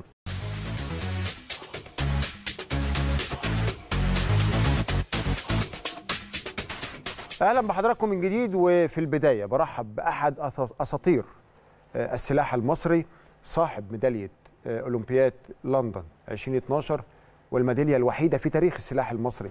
واحد من الأساطير اللي يعني على مستوى فني عالي جدا وعلى مستوى خلقي أيضا عالي. مش كده بس الاتحاد برئاسة كابتن عبد المنعم الحسيني استعان بيه بخبرته وهو لسه بيلعب ما زال حتى الآن إن يبقى المدير الرياضي في الاتحاد يعني استعان بيه في حاجة إدارية أو منصب إداري أكيد ده بينم عن أسطورة كبيرة منورانا في الاستوديو كابتن علاء أبو القاسم. أهلا بيك يا كابتن علاء. أهلا بحضرتك وشكرا على المقدمة الجميلة ده دي ده حقك ومهما قلنا آه، الدول في العالم كلها بتقدر لعيبتها الأولمبيين. ولما بيكون معانا أو في وجود آه، لاعب أولمبي لا إحنا لازم يعني آه، يعني ننحني له احتراما وتقديرا لأن اللاعب الأولمبي ده بيبقى أعلى أعلى آه، وسام ممكن يجيبوا لاعب لبلده. هنبتدي مع مشوارك مع السلاح. آه، بدأ إزاي وبدأ آه، إمتى وصولا لغاية ميدالية 2012 آه، بسم الله الرحمن الرحيم. طبعا ال- الرياضة يعني الأسرة رياضية جدا وكان في آه، تدعيم كبير إن أنا أبقى بلعب رياضة بشكل آه، بشكل صحي. آه، بلاش نقول بشكل احترافي بشكل صحي. لا بشكل صحي. بشكل صحي. دي كانت البداية إنه آه، أقوي المناعة وأبقى بعمل حاجة مفيدة في أوقات الفراغ. الموضوع بدأ طبعا كسباحة ورسم و- فعلا في الأول. سباحة ورسم و- وكاراتيه للدفاع عن النفس والعاب ألعاب لفيت كتير. لفة حلوة. لفيت لفة كويسة جدا. وممكن كان فترة البطولات ممكن ما كانش بيبقى في انجذاب آه، لل- للعبة. لحد ما قابلت رياضة ال- الشيش آه، الشيش. في اسكندرية في نادي الساحل السكندري. و... وتعلقت بيها جدا و... ولقيت أنت ابن اسكندرية يا علاء ولا آه ابن اسكندرية مواليد الجزائر. الجزائر. آه يعني أنت اتولدت في الجزائر. مواليد الجزائر. بس عشت هنا في عشت في اسكندرية. اسكندرية فترة كبيرة آه، جدا. هو لحد ال- ال- الميدالية الأولمبية. وبعد كده لفيت ال- العالم بقى. آه، لفيتها بره ما شاء الله الله أكبر عليك. بدأت السلاح في في اسكندرية؟ كان عندك كام سنة تقريبا؟ يعني؟ بدأت آه، 98 كان عندي 8 8 سنين. صغير. آه بدأت يعني اللفة دي كلها كانت قبل كل ده كان طب قبل حلو تأهيل. ما تأخرتش. وهو مهم يعني كل الألعاب. طبعا فادتك. كل الالعاب مفيدة في في الآخر. نفس نفس الفكرة. بس طبعا مهم تبقى ال- ال- الحاجات ال- المقومات اللي عند. اللاعب بيقدر يوظفها في في لعبه ولقيت نفسي في سلاح الشيش كنت خدت خلفية من الألعاب الأخرى فادتني في في البداية و- وأنا أشول فالموضوع فالألعاب اللي هي باستخدام آه،. إيد واحدة بيبقى- زي ال- آه، ألعاب المضرب ولما تكون الشمال بيبقى متعب بالظبط. متعب لأن هو حاجة بتبقى نادرة شوية بالظبط فحسيت إن أنا في في تميز فسمعت كلام حلو ف. ف فانجذبت للعبة كملت آه، طبعا كان آه، يعني كان دايما في في صعوبة إن إحنا نحقق نتيجة على مستوى عالي ويمكن ده كان التحدي ال- اللي شدني إن أنا أحاول آه، أكسر ال- القاعدة دي إنه آه، ليه ليه إحنا بنخسر في اللعبة؟ دي آه. خاصة إن أنا اتربيت على أجيال آه، قوية جدا وإحنا الصالة الصالة بتاعتنا في نادي السلاح آه، اسمها صالة آه، مصطفى زيان آه، برضو من أساطير ال- اللعبة والشهداء اللي توفوا في حادث فعلا. الأليم في الطيارة كان فريق بطل عالم فاحنا امتداد برضو ل- ل- عظماء. لأجيال ك- كبيرة صحيح. فمن أول أحمد حسنين باشا أول واحد مثل مصر في الأولمبياد فطبعا كان كان نفسي أكمل المسيرة دي والحمد لله ربنا كرمني بميدالية ميدالية لندن ولسه مكمل ومكملين. في أبطال جداد على الساحه وبيعملوا نتائج كويسة جدا وبحاول على قد الإمكان إن أنا أفيدهم أو أكون إلهام ليهم على قد ما أقدر. عايز أقول لك إن أنت ما شاء الله كمان أنت مذاكر تاريخ. واللي ملوش زي ما بيقولوا مش حافظ تاريخه مش هيبقى عنده الدافع ان يعمل حاجة في الحاضر بتاعه. لازم تعرف تاريخك كويس ولازم تبقى عارف إن أنت جاي استكمالا لعظام يعني كتير. ويمكن إحنا محتاجين ده في البلد دلوقتي محتاجين ده مش بس على مستوى الرياضة. على مستوى كل القطاعات لازم تعرف إن أنت جاي من آه، آه، آه، يعني سلالة أو عظام سبقوك فلازم تكمل اللي هم كملوا طيب النهارده أنت قبل ما تروح خليني أقف عند محطة مهمة وهي لندن قبل ما نروح للمحطة اللي جاية إن شاء الله وهي باريس 2024 قبل ما تشارك في لندن كان في مؤشرات بتقول إن علاء هياخد ميدالية ولا كنت بعيد؟ يعني أنا عايز أحط الأجواء لأن الأجواء هنا هتبقى مشابهة لباريس اللي جاية. هل كان في توقع ليك بميدالية ولا أنت جيت من بعيد؟ والله ال ال ال السن أي- ايامي أنا طالع من مرحلة الناشئين. يعني يمكن ده اللي كان حاطط الميدالية بعيد. ولكن المؤشرات كان ميداليات في بطولات عالم ناشئين آه، فزت ببطولة عالم ناشئين وكانت المرحلة اللي بعديها مرحلة ال- الكبار. بس الترانسفير ده كان في وقت خدت لك سنتين مثلا في الرجال قبل الناشئين ولا؟ خدت سنة. يعني كان موسم موسم كامل. قليل. آه، والله ال- البطولات يعني هي في بنعمل حاجة في محطات إعداد مم. ومحطات تأهيل. مم. وفي البطولة الكبيرة. مم. البطولة الكبيرة هي بطولة عالم أو ال- الأولمبياد. نعم. ال- الشغل بيبقى للبطولة دي. آه، في خلال التحضيرات ما ما فيش حاجة اسمها لاعب راح يجيب آه، ميداليه بس أنا قصدي أنت آه. أنت خدت بطولة عالم الناشئين آه. بس لما بتطلع تلعب تلعب لعيبة تانية أكبر منك بخمس وست وسبع وثمان وعشر سنين وما لعبتش معاهم قبل كده. فالنهارده سنة أنا من وجهة نظري أنت عملت تحدي صعب. إن أنت في خلال سنة تروح تاخد ميداليه اولمبيه وتسبق ناس بقالهم 10 سنين شغالين صح ولا أنا غلطان؟ طبعا هي بتبقى يعني بتبقى حاجة حاجة صعبة أكيد. لا ده ده, ده حاجة معجزة. يعني مش صعبة لا معجزة فعلا دي حقيقه إحنا الحمد لله يعني في في الشيش كل ال- الميداليات آه، في أوقات قياسية. آه. آه، الأبطال عندنا في سن عندنا من 17 سنة. ونتائج على مستوى ال- ال- الكبار. فالسن الصغير بيبقى ميزة وبعد كده آه، مجموع الخبرات بيبقى بيبقى ميزة. برضو في الألعاب النزاليه عنصر المفاجأة بيبقى مطلوب. نعم. فالسن الصغير بيبقى ليه بيبقى ليه فايدة. آه. آه، يمكن الفترة اللي هي كانت قبل لندن إحنا اشتغلنا على على كده اشتغلت على نفسي ومع مع مع المدرب كان اتحاد. محترم جدا و وكان teamwork آه، هايل. يعني كبير. إحنا كنا حوالي أربع أربع أو خمس مدربين آه، شغالين آه، شغالين معايا. وكان في دعم كبير قوي. صحيح ما كانش ما كانش ممكن اعلاميا مع- معروف أو أو كان. بيتقال. ولكن إحنا كنا كان ده الحلم يعني اشتغلتوا إن أنتوا عايزين ميدالية.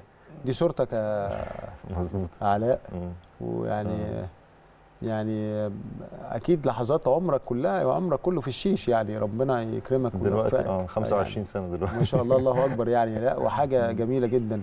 لندن هيبقى مظبوط. لندن يا باشا الميدالية الأعظم وال- والميدالية الوحيدة في تاريخ الشيش الأولمبية إن شاء الله تكررها السنة دي. طيب أه، هتخطى بقى المحطة الكبيرة واللي تهمنا كلنا كمتابعين ومحبين للرياضة وهي وللشيش المصري وهي ميدالية أه، لندن. عايز أخش بقى هنقفز بقى دلوقتي 10 سنوات بنستعد لباريس 2024 انت النهارده تستعد بمكانين. يعني يا باشا انت جاي داخل زي ما بيقولوا إيه بروحين زي ما بيقولوا. لاعب في المنتخب المصري وما زلت الحمد لله ومدير رياضي. أنا بقول صح لو أنا بقول ال position آه. مظبوط أو بقوله غلط من فضلك صلح لي المدير الرياضي للاتحاد المصري للسلاح. هتساعد مصر إزاي من المكانين؟ والله آه، يعني إحنا مكاننا في في المنتخب وتعودنا من من زمان. آه، أي حاجة أقدر أعملها بعملها. آه، ممكن ال title تكريمي آه، بشكل بشكل كبير. ولكن أنا مش لوحدي يعني مش حاجة أعملها لوحدي. فريق. في تيم كبير جدا جدا جدا. أول حاجة ال- ال- المدربين كتير واقوياء أقوياء جدا. ما شاء الله. وفي نفس الوقت بنستعين برضو لو احتاجنا خبرات أجنبية أو أو معسكرات خارجية بنعملها. والاتحاد ما بيتأخرش والرعاة آه، زائد في فريق إداري قوي قوي قوي وزائد في فريق طبي وفي رعاة لل- للاتحاد وفي اتحاد شغال على مدار ال- الساعة. ففي الآخر أنا يعني ترس في في المنظومة. آه، ممكن يكون عندي خبرات آه، أولمبية أو في بطولات العالم. فبقدر أنقلها لل- للعيبة. ممكن يبقى في بعض الملاحظات ممكن أتناقش فيها مع مع المدربين ولكن الحاجة الاكبر واحد بيبقى شغال على نفسه. آه، دي أكتر حاجة أقدر أعملها لل- لل- للفريق أو لبلدي آه، أنا ابقى شغال على نفسي أطور من نفسي. آه، أكتر من إن أنا آخد آه، مكان أو حاجة يعني. أنا عايز أقول لك المميز مميز في كل حاجة الله أكبر عليه شكراً. يعني ما شاء الله حتى ردودك ردود مميزة. يعني النهارده بتقول أنا ترس في منظومة. فده بينم عن واحد أو شخص فعلا يعني يعني ما خدش ميدالية أولمبية من فراغ. يعني أنت ردك حتى رد يعني رد أنت بتتكلم كفريق عمل. أنا راجل بشتغل فريق عمل. آه أنا مميز في حاجة معينة. أنا عندي خبرات أولمبية هنقلها. آه بس المميز يا ابني والله العظيم مميز في كل شيء. الله أكبر عليك يعني. طيب خلينا أتكلم عن آه، آه، البطولة اللي جاية أو باريس 2024 ويبقى أنا راجل رياضي وعارف عمري ما ينفع أقول لواحد إيه بقى هتجيب لنا ميدالية إيه؟ ما ينفعش كده. ومفيش حاجة في الرياضة اسمها كده. أنت بتشتغل وبتسأل الله سبحانه وتعالى التوفيق بتاخد بالأسباب ولكن آه، كل يعني لكل مقام مقال. الله أعلم هيحصل إيه في البطولة. أنت بتشتغل وعلى الله. شايف يعني من هنا لباريس 2024 الأجندة اللي محطوطة ال ال ال الإعداد اللي اتحط.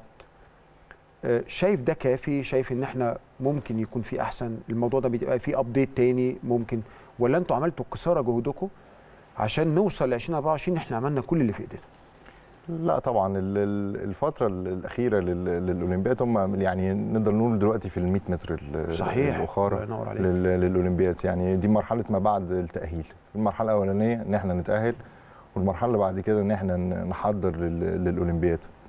زي ما حضرتك قلت إن إحنا لازم ناخد بال- بالأسباب. نعم. أي بطولة بنشارك فيها لازم بنشارك آه، بتركيز. يعني آه، بيبقى زي ما قلنا هي محطة تأهيلية آه، وتجريبية لل- للأولمبياد. مهم من دلوقتي لل- للأولمبياد أول نقطة طبعا إن اللعيبة توصل بصحة كويسة. يعني الإصابات ما تبقى نبقى إحنا واخدين نعم. بالنا من من ال curve ات والحاجات دي. ده الجزء ال- ال- الأهم. الجزء الثاني الجزء الفني بيبقى شغال بقى مع المدرب ال personal coach يعني. بيشتغلوا على ال- ال- التاكتكس يعني جربنا حاجة بنبدأ دي هنخبيها دي هنشتغل عليها لحد لحد الأولمبياد. ما شاء الله. وال- والحاجة ال ال ال ال الأخيرة هو إن إحنا نقفل على نفسنا. طبعا ده حاجة مهمة جدا. إن إحنا نبقى مركزين من دلوقتي لحد الأولمبياد نقلل ال ال يعني ال أي حاجة ممكن تشتت تركيزك بالظبط آه، بالظبط. وطبعا ال- ال- اللي أنا بتمناه طبعا إن إن ما يبقاش في طبعا تأخير في في في السفر. الحاجات الحاجات دي بتأثر بشكل كبير. آه. كل ما نقرب من ال- من البطولات يعني يبقى البطولة بنطلعها في ميعادها. كل ال- الأمور الإدارية تبقى تبقى. منتهية بحيث خلاص ده, ده آخر حاجة ويبقى حرام. وصلنا لحد هنا. النهارده قبل كده أنا حضرتك ذكرت أولمبياد 2012 من 2012 كنا طالعين يعني باثنين لعيبة ناشئين كويسين و-. فعلا. أنتوا أنتوا النهارده ال ال ال ال القاعدة زادت. أنا عايز أسأل سؤالين مهمين. النهارده شايف في تطور في اتجاه الرعاة؟ يعني كان زمان بيبقى عندنا أزمة كبيرة جدا في التمويل ال budget اللي بتتحط آه، للعيب الأولمبي وتبقى دي حاجة بتبقى- كانت بتبقى صعبة وكانت بت- بتثقل كاهل الاتحاد وما بيبقاش عارف إنه يروح يقول للوزارة اديني ما هو ما عندوش أي source تاني يقدر يجيب منه. فهل حصل طفرة خاصة أنت حضرت two generations أول جيل كان في آه، من من من من لندن لغاية دلوقتي. فأنت عاصرت جيلين جيل بطل وجيل دلوقتي معاك آه، آه، أنت أكبر منه. فالنهاردة هل ده حصل في تطور في المكان ده؟ طيب الحاجة الثانية إيه العدد؟ النهارده منتخب مصر آه، كم واحد يتأهل الاولمبياد كم واحد يقدر ينافس وبقوه النهارده قاع- القاعدة العريضة بتاعتنا؟ فعايز إجابتين في الاتجاهين دول. والله أول نقطة نقطة ال- الرعاية ما أتكلم بأمانة آه. ال- ال- آه، طول الوقت إحنا كان كان في كان في دعم. يعني من أول ما بدأت ال- المبارزة كان في مشاريع وطنية آه، ساعدتني وساعدت زمايلي كتير وفي كل كل الألعاب. فكان دايما في دعم. دلوقتي بشكل بشكل مختلف يعني عن طريق آه، ال- ال- الرعاة. آه، في تطور ولكن برضو يعني في في بعض ال- ال- الحاجات برضو ممكن في تأخير شوية آه. في في برضو مش في في لعيبة كتير محتاجة كمان دعم دعم أكتر طبعا يعني ما أقدرش أقول إحنا وصلنا لسه لل- لل top. لل top بس إحنا بس إحنا كو... إحنا كويس. أفضل آه. يعني زي ما قلت لحضرتك كان 2012 كان في اتنين لعيبة كويسين مم. النهارده إحنا بنتكلم. آم، في سلاح الشيش في فرقة قوية كام واحد مثلا؟ يعني يا كابتن أنتوا. أنتوا كام لاعب في المنتخب؟ يعني نقول مثلا المنتخب الكبير.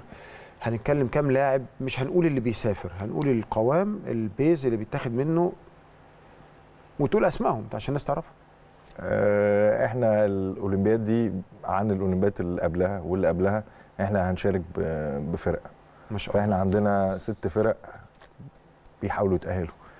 تمام؟ آه، في آه، أربعة حسموا بشكل بشكل كبير. ممتاز. وفي فرقتين هيحاولوا لحد الآخر. آه، بإذن الله يعني ال- المتوقع خمس فرق تبقى متأهلة من من أصل ستة. الله أكبر دي حاجة تمام جداً. وبما إن الفرقة كنا قبل كده بنروح باثنين لعيبة وكنا بنروح ب... يعني كان ممكن نروح بفريق آه. كام لاعب بس بتكلم اللعيبة اللي كان بيبقى عليها ال- العين أو اللي كانت. بتحقق نتيجة بالظبط فرقة يعني أو اثنين مثلا منهم ب- جوه الفريق آه. لا كان ممكن واحد بس واحد جوه. الفريق إحنا آه. دلوقتي بنتكلم في فرق ست فرق. والفرق الفرق قوية يعني إحنا ما نقدرش نقول مثلا ما نقدرش نقول مين هيلعب هنحد آخر طب الف- الفرقة من الستة كام لاعب بتبقى تقريبا قوامها مثلا الفرقة بيبقى قوامها أربع لعيبة ثلاثة بيلعبوا الفردي وواحد بيبقى احتياطي يقدر يشارك في في منافسات طب لو الفرق كلمنا أربعة في ستة يعني اولموست خمسه أر- 24 لاعب 24 لاعب ده آه. ده قوام المنتخب مثلا اللي بيشارك في بطولة أفريقيا آه. ولكن اللي بيتدرب أو اللي إحنا بنختار منه بيبقى في حوالي 6 ل 8 في كل في كل نوع مم. فده ده بيبقى يعني القوام. ممكن نخش مثلا لغاية 40 لاعب. أنت عندك في الأولمبياد 40 لاعب. الأولمبياد حد الأقصى الكوتا عندنا اللي نقدر نتأهل بيها هو 24 ده الحد الاقصى لأي دولة. ده- ده 24 لأي لاعب. دولة 24 لاعب إن هو يعني. كده آه اللي هم الست فرق اللي أنت قلت عليهم. ست فرق. وطبعا ده شيء يعني صعب جدا إن فحتى من الدول القوية جدا ممكن ما يتأهلوش. يعني آه. ممكن إيطاليا ما تتأهلش في سلاح ممكن فرنسا ما تتأهلش في سلاح فإحنا الحمد لله لحد دلوقتي أربعة فممكن نوصل لخمسة إن شاء الله. فهيبقى اوريدي التأهيل آه، برقم آه، إنجاز جديد. ال- ال- اللي إحنا هنلعب عليه إن شاء الله الدورة دي إن؟ نطلع بفريق قوي برافو مش بإن مش. بأفراد أقوياء. وما دام منتخب يبقى كلهم أبطال. يعني صحيح. أنا يعني منتخب مصر. أنا مظبوط مظبوط. طيب آه آه الأعمار. يعني أنا بتكلم إن إحنا النهارده عندنا إحنا تصدرنا فترة من الفترات التصنيف العالمي للناشئين. وكنا دايما الله أكبر من روح يبقى نتائج مبهرة. آه، وشفت أنا أكتر من مرة الرانكينج اللي بينزل من الاتحاد الدولي وبشوف قد إيه إحنا كقطاع ناشئين كويسين جدا. أنا مش هتكلم على باريس 2024 أنا هتكلم معاك على لوس أنجلوس كمان. هل عندكم رؤية؟ أنت النهارده ما بكلمش لاعب. أنا بكلم يعني أسطورة ده رقم واحد. رقم اتنين بكلم آه، شخص آه، ينتمي لأسرة السلاح ليه دور إداري جوة الاتحاد فأكيد عنده فيجن للأولمبياد بتاعه لوس أنجلوس. شغالين على ده ولا مستنيين تعدوا باريس وبعد كده تشتغلوا؟ آه، أول خطوة ب- بدأناه يعني نتكلم على سلاح الشيش. أيوة. أول خطوة بدأناها كان آه، إن إحنا نسبورت لاعب يدخل ال- الفريق الكبير وكان سنه 15 سنة. إيه ده؟ فدي كانت اول أول مين- خطوة مين ده؟ اسمه عبد الرحمن طلبة. عبد الرحمن طلبة. آه مظبوط. آه. و... و... والاتحاد دعم الموضوع ده. و... وطبعا والده ووالدته هم ليهم ال- الفضل ال- الأكبر. و... والنهاردة هو من القوام الأساسي للفريق. 15 سنة. وخمس... دلوقتي بقى بطل عالم تحت 17 سنة. الله و...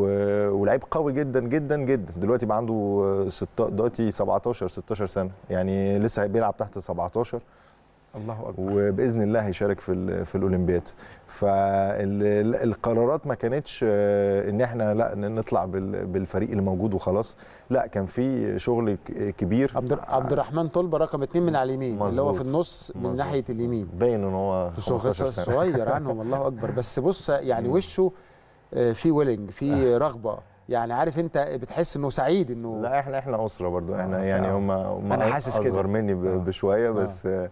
بس إحنا نعرف بعض من زمان جدا يعني آه، عبد الرحمن. نعرفه عنده خمس سنين لا لا ووالده يعني انتشر ماشي. بصداقته برضو ولا- يعني كلنا أسرة واحدة. وفي بعد كده عملنا آه، في أولمبياد دكار 2026 ويمكن إحنا من آه، من أوائل الاتحادات وممكن أقول في على مستوى. العالم. إن إحنا حطينا فيجن ويمكن الاتحاد ده دورته من 2000 لحد تنتهي ب 2024 ولكن اتعمل منتخب لدكار آه، بنعده لتحت لأولمبياد ال- الشباب 2026 كويس برافو. كان ال- المنتخب ده مواليد 2009 2010 2011 واشتغلتوا على ده؟ وبدأنا الكلام ده سنة 2022 في في بداية 2022 قبلها بأربع سنين أهو البطوله في 26 مظبوط. بدأنا. قبلها ب 24 بأربع سنين. و... والحمد لله أثمرت على لعيبة برضو جديدة طالعة. بحيث إن إحنا عايزين نعمل استمرارية. استمرارية. وعلى المستوى برضو ال- الأندية والهيئات في هيئات جديدة. دخلت؟ دخلت. وفي هيئات كمان السلاح لعبة. مكلفة برضو. يعني الزي وال... والسلاح نفسه وال... والبساط اللي بتلعبوا عليه. لعبة مكلفة وال tools وال equipment لأن أنت عندك آه، يعني الحاجات الحديثة بتاعت ال touch إن هو يبقى الحاجات دي بتتوفر موجودة. والله ال ال يعني هو في الآخر ال- الرياضة استثمار طبعا و و والأهل بيستثمروا في في اولادهم و والنادي بيستثمر في في لعيبته. وكذلك الاتحاد آه، والوزارة واللجنة الأولمبية. لما النهارده يكون في نتائج اذا ده استثمار نعم. استثمار ناجح. نعم. آه، ولما يبقى في رعاه ويبقى في هيئات جديدة يبقى ده استثمار ناجح. فالحمد لله ده متوفر في في رياضة الشيش آه، من سن صغير للعيبة كبيرة. وبرده الثمره اللي في الآخر يعني الاولاد آه، كلهم ناجحين جدا آه، دراسيا وعلى مستوى خليجي يا الشغل كابتن. آه، حاجات كتير. خليجي. لا قول لي قول لي. لا أنا ب... ليه ليه دايما؟ أنا قلت في وسط الكلام قلت الناجح ناجح في كل شيء الله أكبر. حتى ردودك ردود شخص يعني عاقل متزن عارف هو بيقول إيه. خريج إيه يا كابتن درست إيه؟ والله. آه، هندسة وبعدين هندسة ليه كده آه، بس؟ والله جامعة اسكندرية. جامعة اسكندرية. قسم إيه طيب؟ قول لي. لا تعالى لا، لا، لا، بس خلي بالك أنا مهندس. فأنا برضو يعني أنت كده هنلبس مع بعض. دخلت قسم إيه أنا كنت؟ في كلية هندسة دخلت سنة 2008 ما شاء الله. تمام آه، وبعد كده 2010 آه، يعني احترفت رياضة ال- الش- الشيش. الشيش. آه فكان طبعا مستحيل صعبة مع هندسة. أنا كمان يعني أيام ال- ال- الف- الفترة دي كنت بلعب ما كانش في فريق. يعني ما آه، كان موضوع كله عليك التدريب. لا كان التدريب خارج مصر والمدرب خارج مصر. آه، فكانت. الموضوع صعب. صعب. آه. آه. طلعت فرنسا ودرست علم التدريب آه، في بشهادة اسمها maître آه، ثم بعد كده رجعت رجعت مصر بعديها ودرست logistics حبيت إن أنا أخرج شوية بره مجال ال- كويس. الرياضة؟ في وأتعلم الأكاديمية؟ في الاكاديميه البحريه برافو بس قسم عندها قسم logistics كويس جدا. حبيت أتعلم برضو حاجة ومجال جديد آه، فادني. وبعد كده طلعت- طلعت ال- ال- الإمارات بعد كده. قعدت قعدت في فرنسا أربع سنين. وبعدين. قعدت مصر وبعد كده رحت الإمارات آه، سنتين ثلاثة برضو خدت خبرة خبرة كبيرة كان في نادي الشرق الرياضي درست حاجة ولا لأ؟ لعبت واشتغلت يعني الاثنين في آه، نفس آه، الوقت آه. برضو ادتني خبرة كويسة. وبعدين كابتن عبد المنعم. مشكور وال- والاتحاد الموقر برضو كلمني وللاولمبياد اللي بقى يعني كان الكلام ده بعد بعد طوكيو. طوكيو عشان فكلموني و- ورجعت وكانت خبرة كبيرة قوي. يعني استفدت منها كتير جدا جدا جدا. السنتين دول على يعني برضو في في فرق ما بين ال- ال- الملعب وال- وال- والجزء الإداري. طبعا. لأن صناعة القرار الواحد ممكن وهو بيلعب مش عارف بتيجي إزاي. ف- انت فالخبره اداريا القرار مش بتاعك انت بتاخد قرار لغيرك. مظبوط. فالنهاردة الموضوع بقى فكر تاني وشكل تاني بس أنا عايز أروح لحتة معينة. يعني آه، أسطورة زي الكبيرة يعني وخليني دايما أعيد وأزيد وأقول صاحب الميدالية الأولمبية الوحيدة في الشيش. وده كان حدث ضخم جدا إحنا ما كناش مصدقين ان إحنا كنا بعيد خالص. الشيش إيه اللي يجيب ميدالية أولمبية؟ ده إحنا كنا حاطين دماغنا في حتة تانية خالص. طيب آه، اللعيبة بتتعامل معاك إزاي؟ يعني أنا بتخيل الصورة اللي لما جت معلش يا جماعة ريدوا الصورة تاني. لما جت الصورة أنا شفت أجيال مختلفة واقفة واقفين جنب أسطورة. لا مش واقفين جنبه بقى ك ك ك يعني ك ك أهو كإداري. لا ده بيلعبوا معاك. طب بيتعاملوا معاك الثلاثي إزاي؟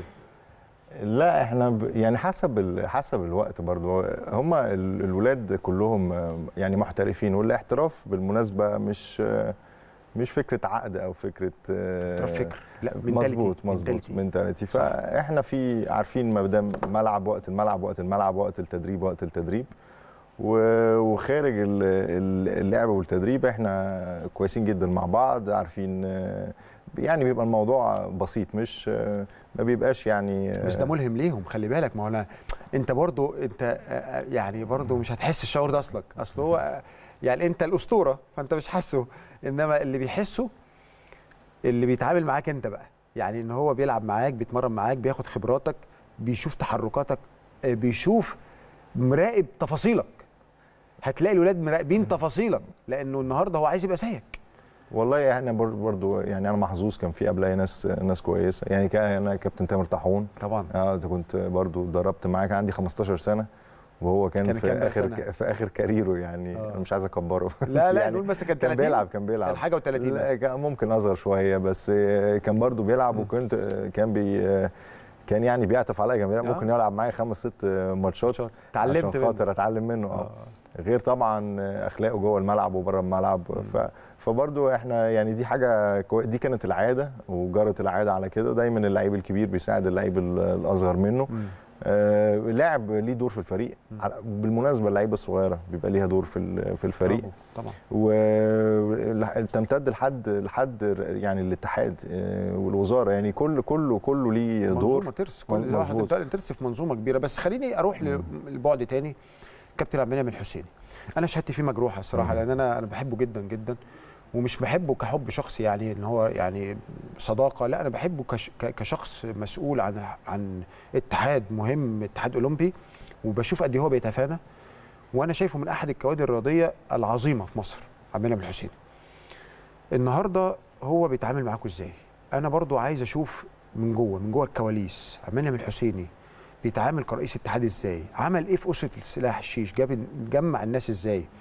بيفكر إزاي إيه المختلف اللي قدمه عبد المنعم الحسيني للاتحاد طبعا هو بداية ال- ال- الفترة اللي إحنا دي الدورة الثانية نعم لل- للاتحاد ده آه، أو للمجموعة دي وهي كانت دورة محتاجة آه، محتاجة إن إحنا نقدر يعني المنتخب بدأ إن هو يبقى قوي في كل الأسلحة يجني ثمار الشغل لا لا ال- الأسلحة يعني قبل. كده كنا يعني أنا بلعب شيش مم. وفي آه، سيف وسيف مبارزة. ففي ثلاث أنواع أسلحة وفي ولاد وفي بنات فعشان خاطر إن إحنا نبدأ نبقى الشغل متوازي على الثلاث أسلحة محتاج إن مبدئيا الاتحاد يبقى فيه موارد أو الاتحاد يقدر طبعاً. ان هو طبعا زي ما قلت قلت لك في الأول فده المواهب. فده كان جزء مهم جدا وده اللي الاتحاد وفره في ال- في. ال- في الدورة دي برافو ال- الحاجة الثانية بصراحة وجودهم على في جنبنا في في الملعب في البطولات. دي حاجة كويسة قوي. يعني كابتن عبد المنعم بي- بيتأثر بشكل كبير قوي معانا في في. الملعب. آه، بي بيزعل بي- بيتبسط بيبكي آه،. فبيدي آه. كل حاجة. فطبعا ده بي بي بيتنقل. آه، الحاجة الثانية كل واحد في شغله مفيش تدخل. ودي حاجة برضو آه، طب هل- أشيد بيها. ال- ال- إيه يا كابتن؟ إن مفيش تدخل. تدخل، يعني أيوة. يعني مثلا برافو. آه، في ثقة.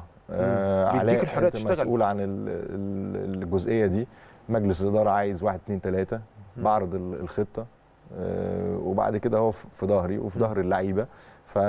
فدي حاجة كويسة ويمكن يديك غايب غايبة ممكن في, صحيح. في, أماكن كتير ومؤثره يعني إحنا بيبقى في حد تعالى آه، يعني خد ال- ال- ال- المكان ده ولكن بدون ما يبقى فيه ثقة متبادلة نعم. ف- ف- فبرضو الحاجة الكويسة إن كل واحد بي- بيعمل بيعمل شغل. شغله. على مستوى الاتحاد الدولي. هو ناجح جدا. برافو عليك. لسه اسالك هو نائب رئيس الاتحاد الدولي مظبوط. هل ده فايدنا؟ لما لما تبقى في كل كم البطولات دي في في مصر بنستضيفها آه، فطبعا دي فايدة كبيرة قوي. يعني أشكرك بس صح يعني أشكرك فعلا.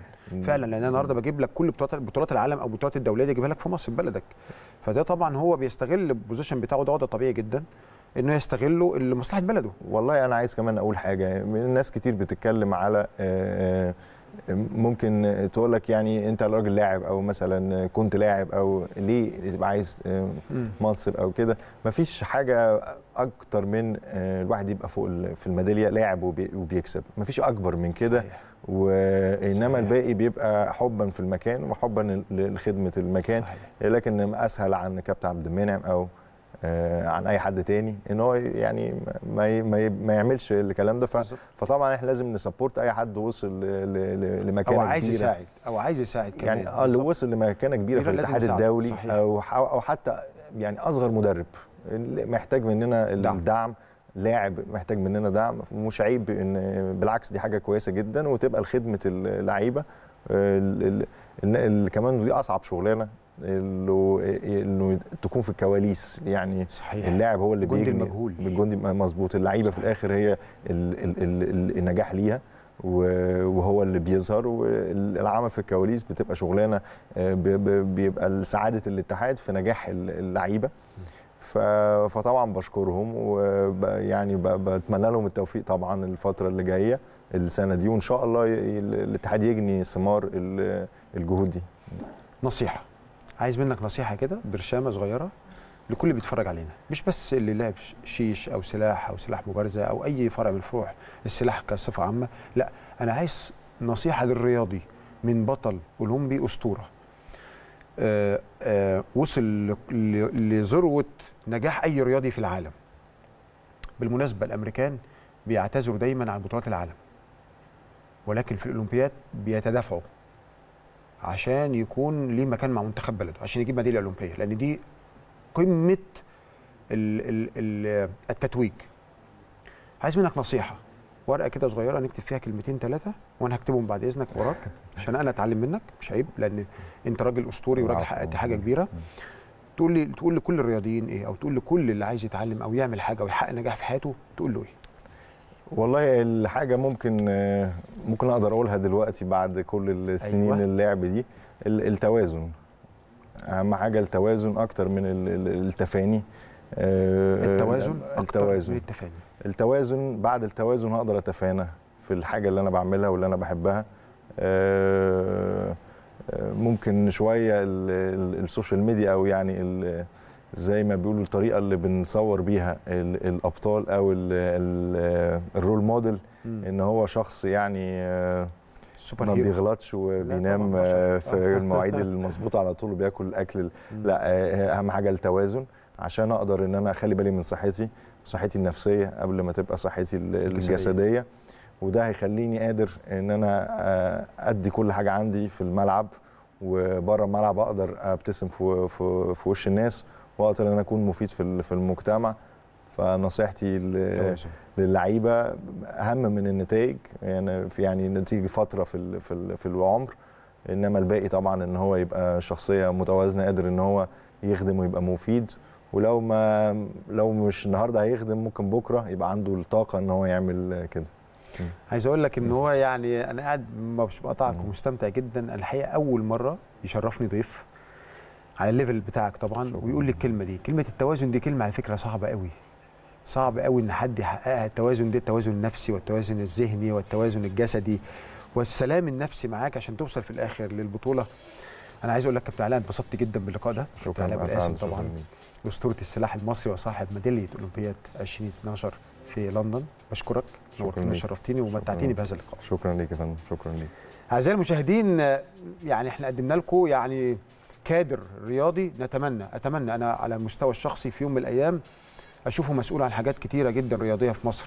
هي دي مصر مصر ولادة مصر مليانة كوادر زي كابتن علاء وزي غيره وغيره وغيره. إن شاء الله هيجي اليوم اللي هيقوده. بس كادر زي ده إن شاء الله أتمنى في يوم من الأيام أشوف ليه وجود كبير على الساحة الرياضية المصرية. بشكر حضراتكم شكرا جزيلا على حسن المتابعة وإلى حلقة جديدة مع الأبطال.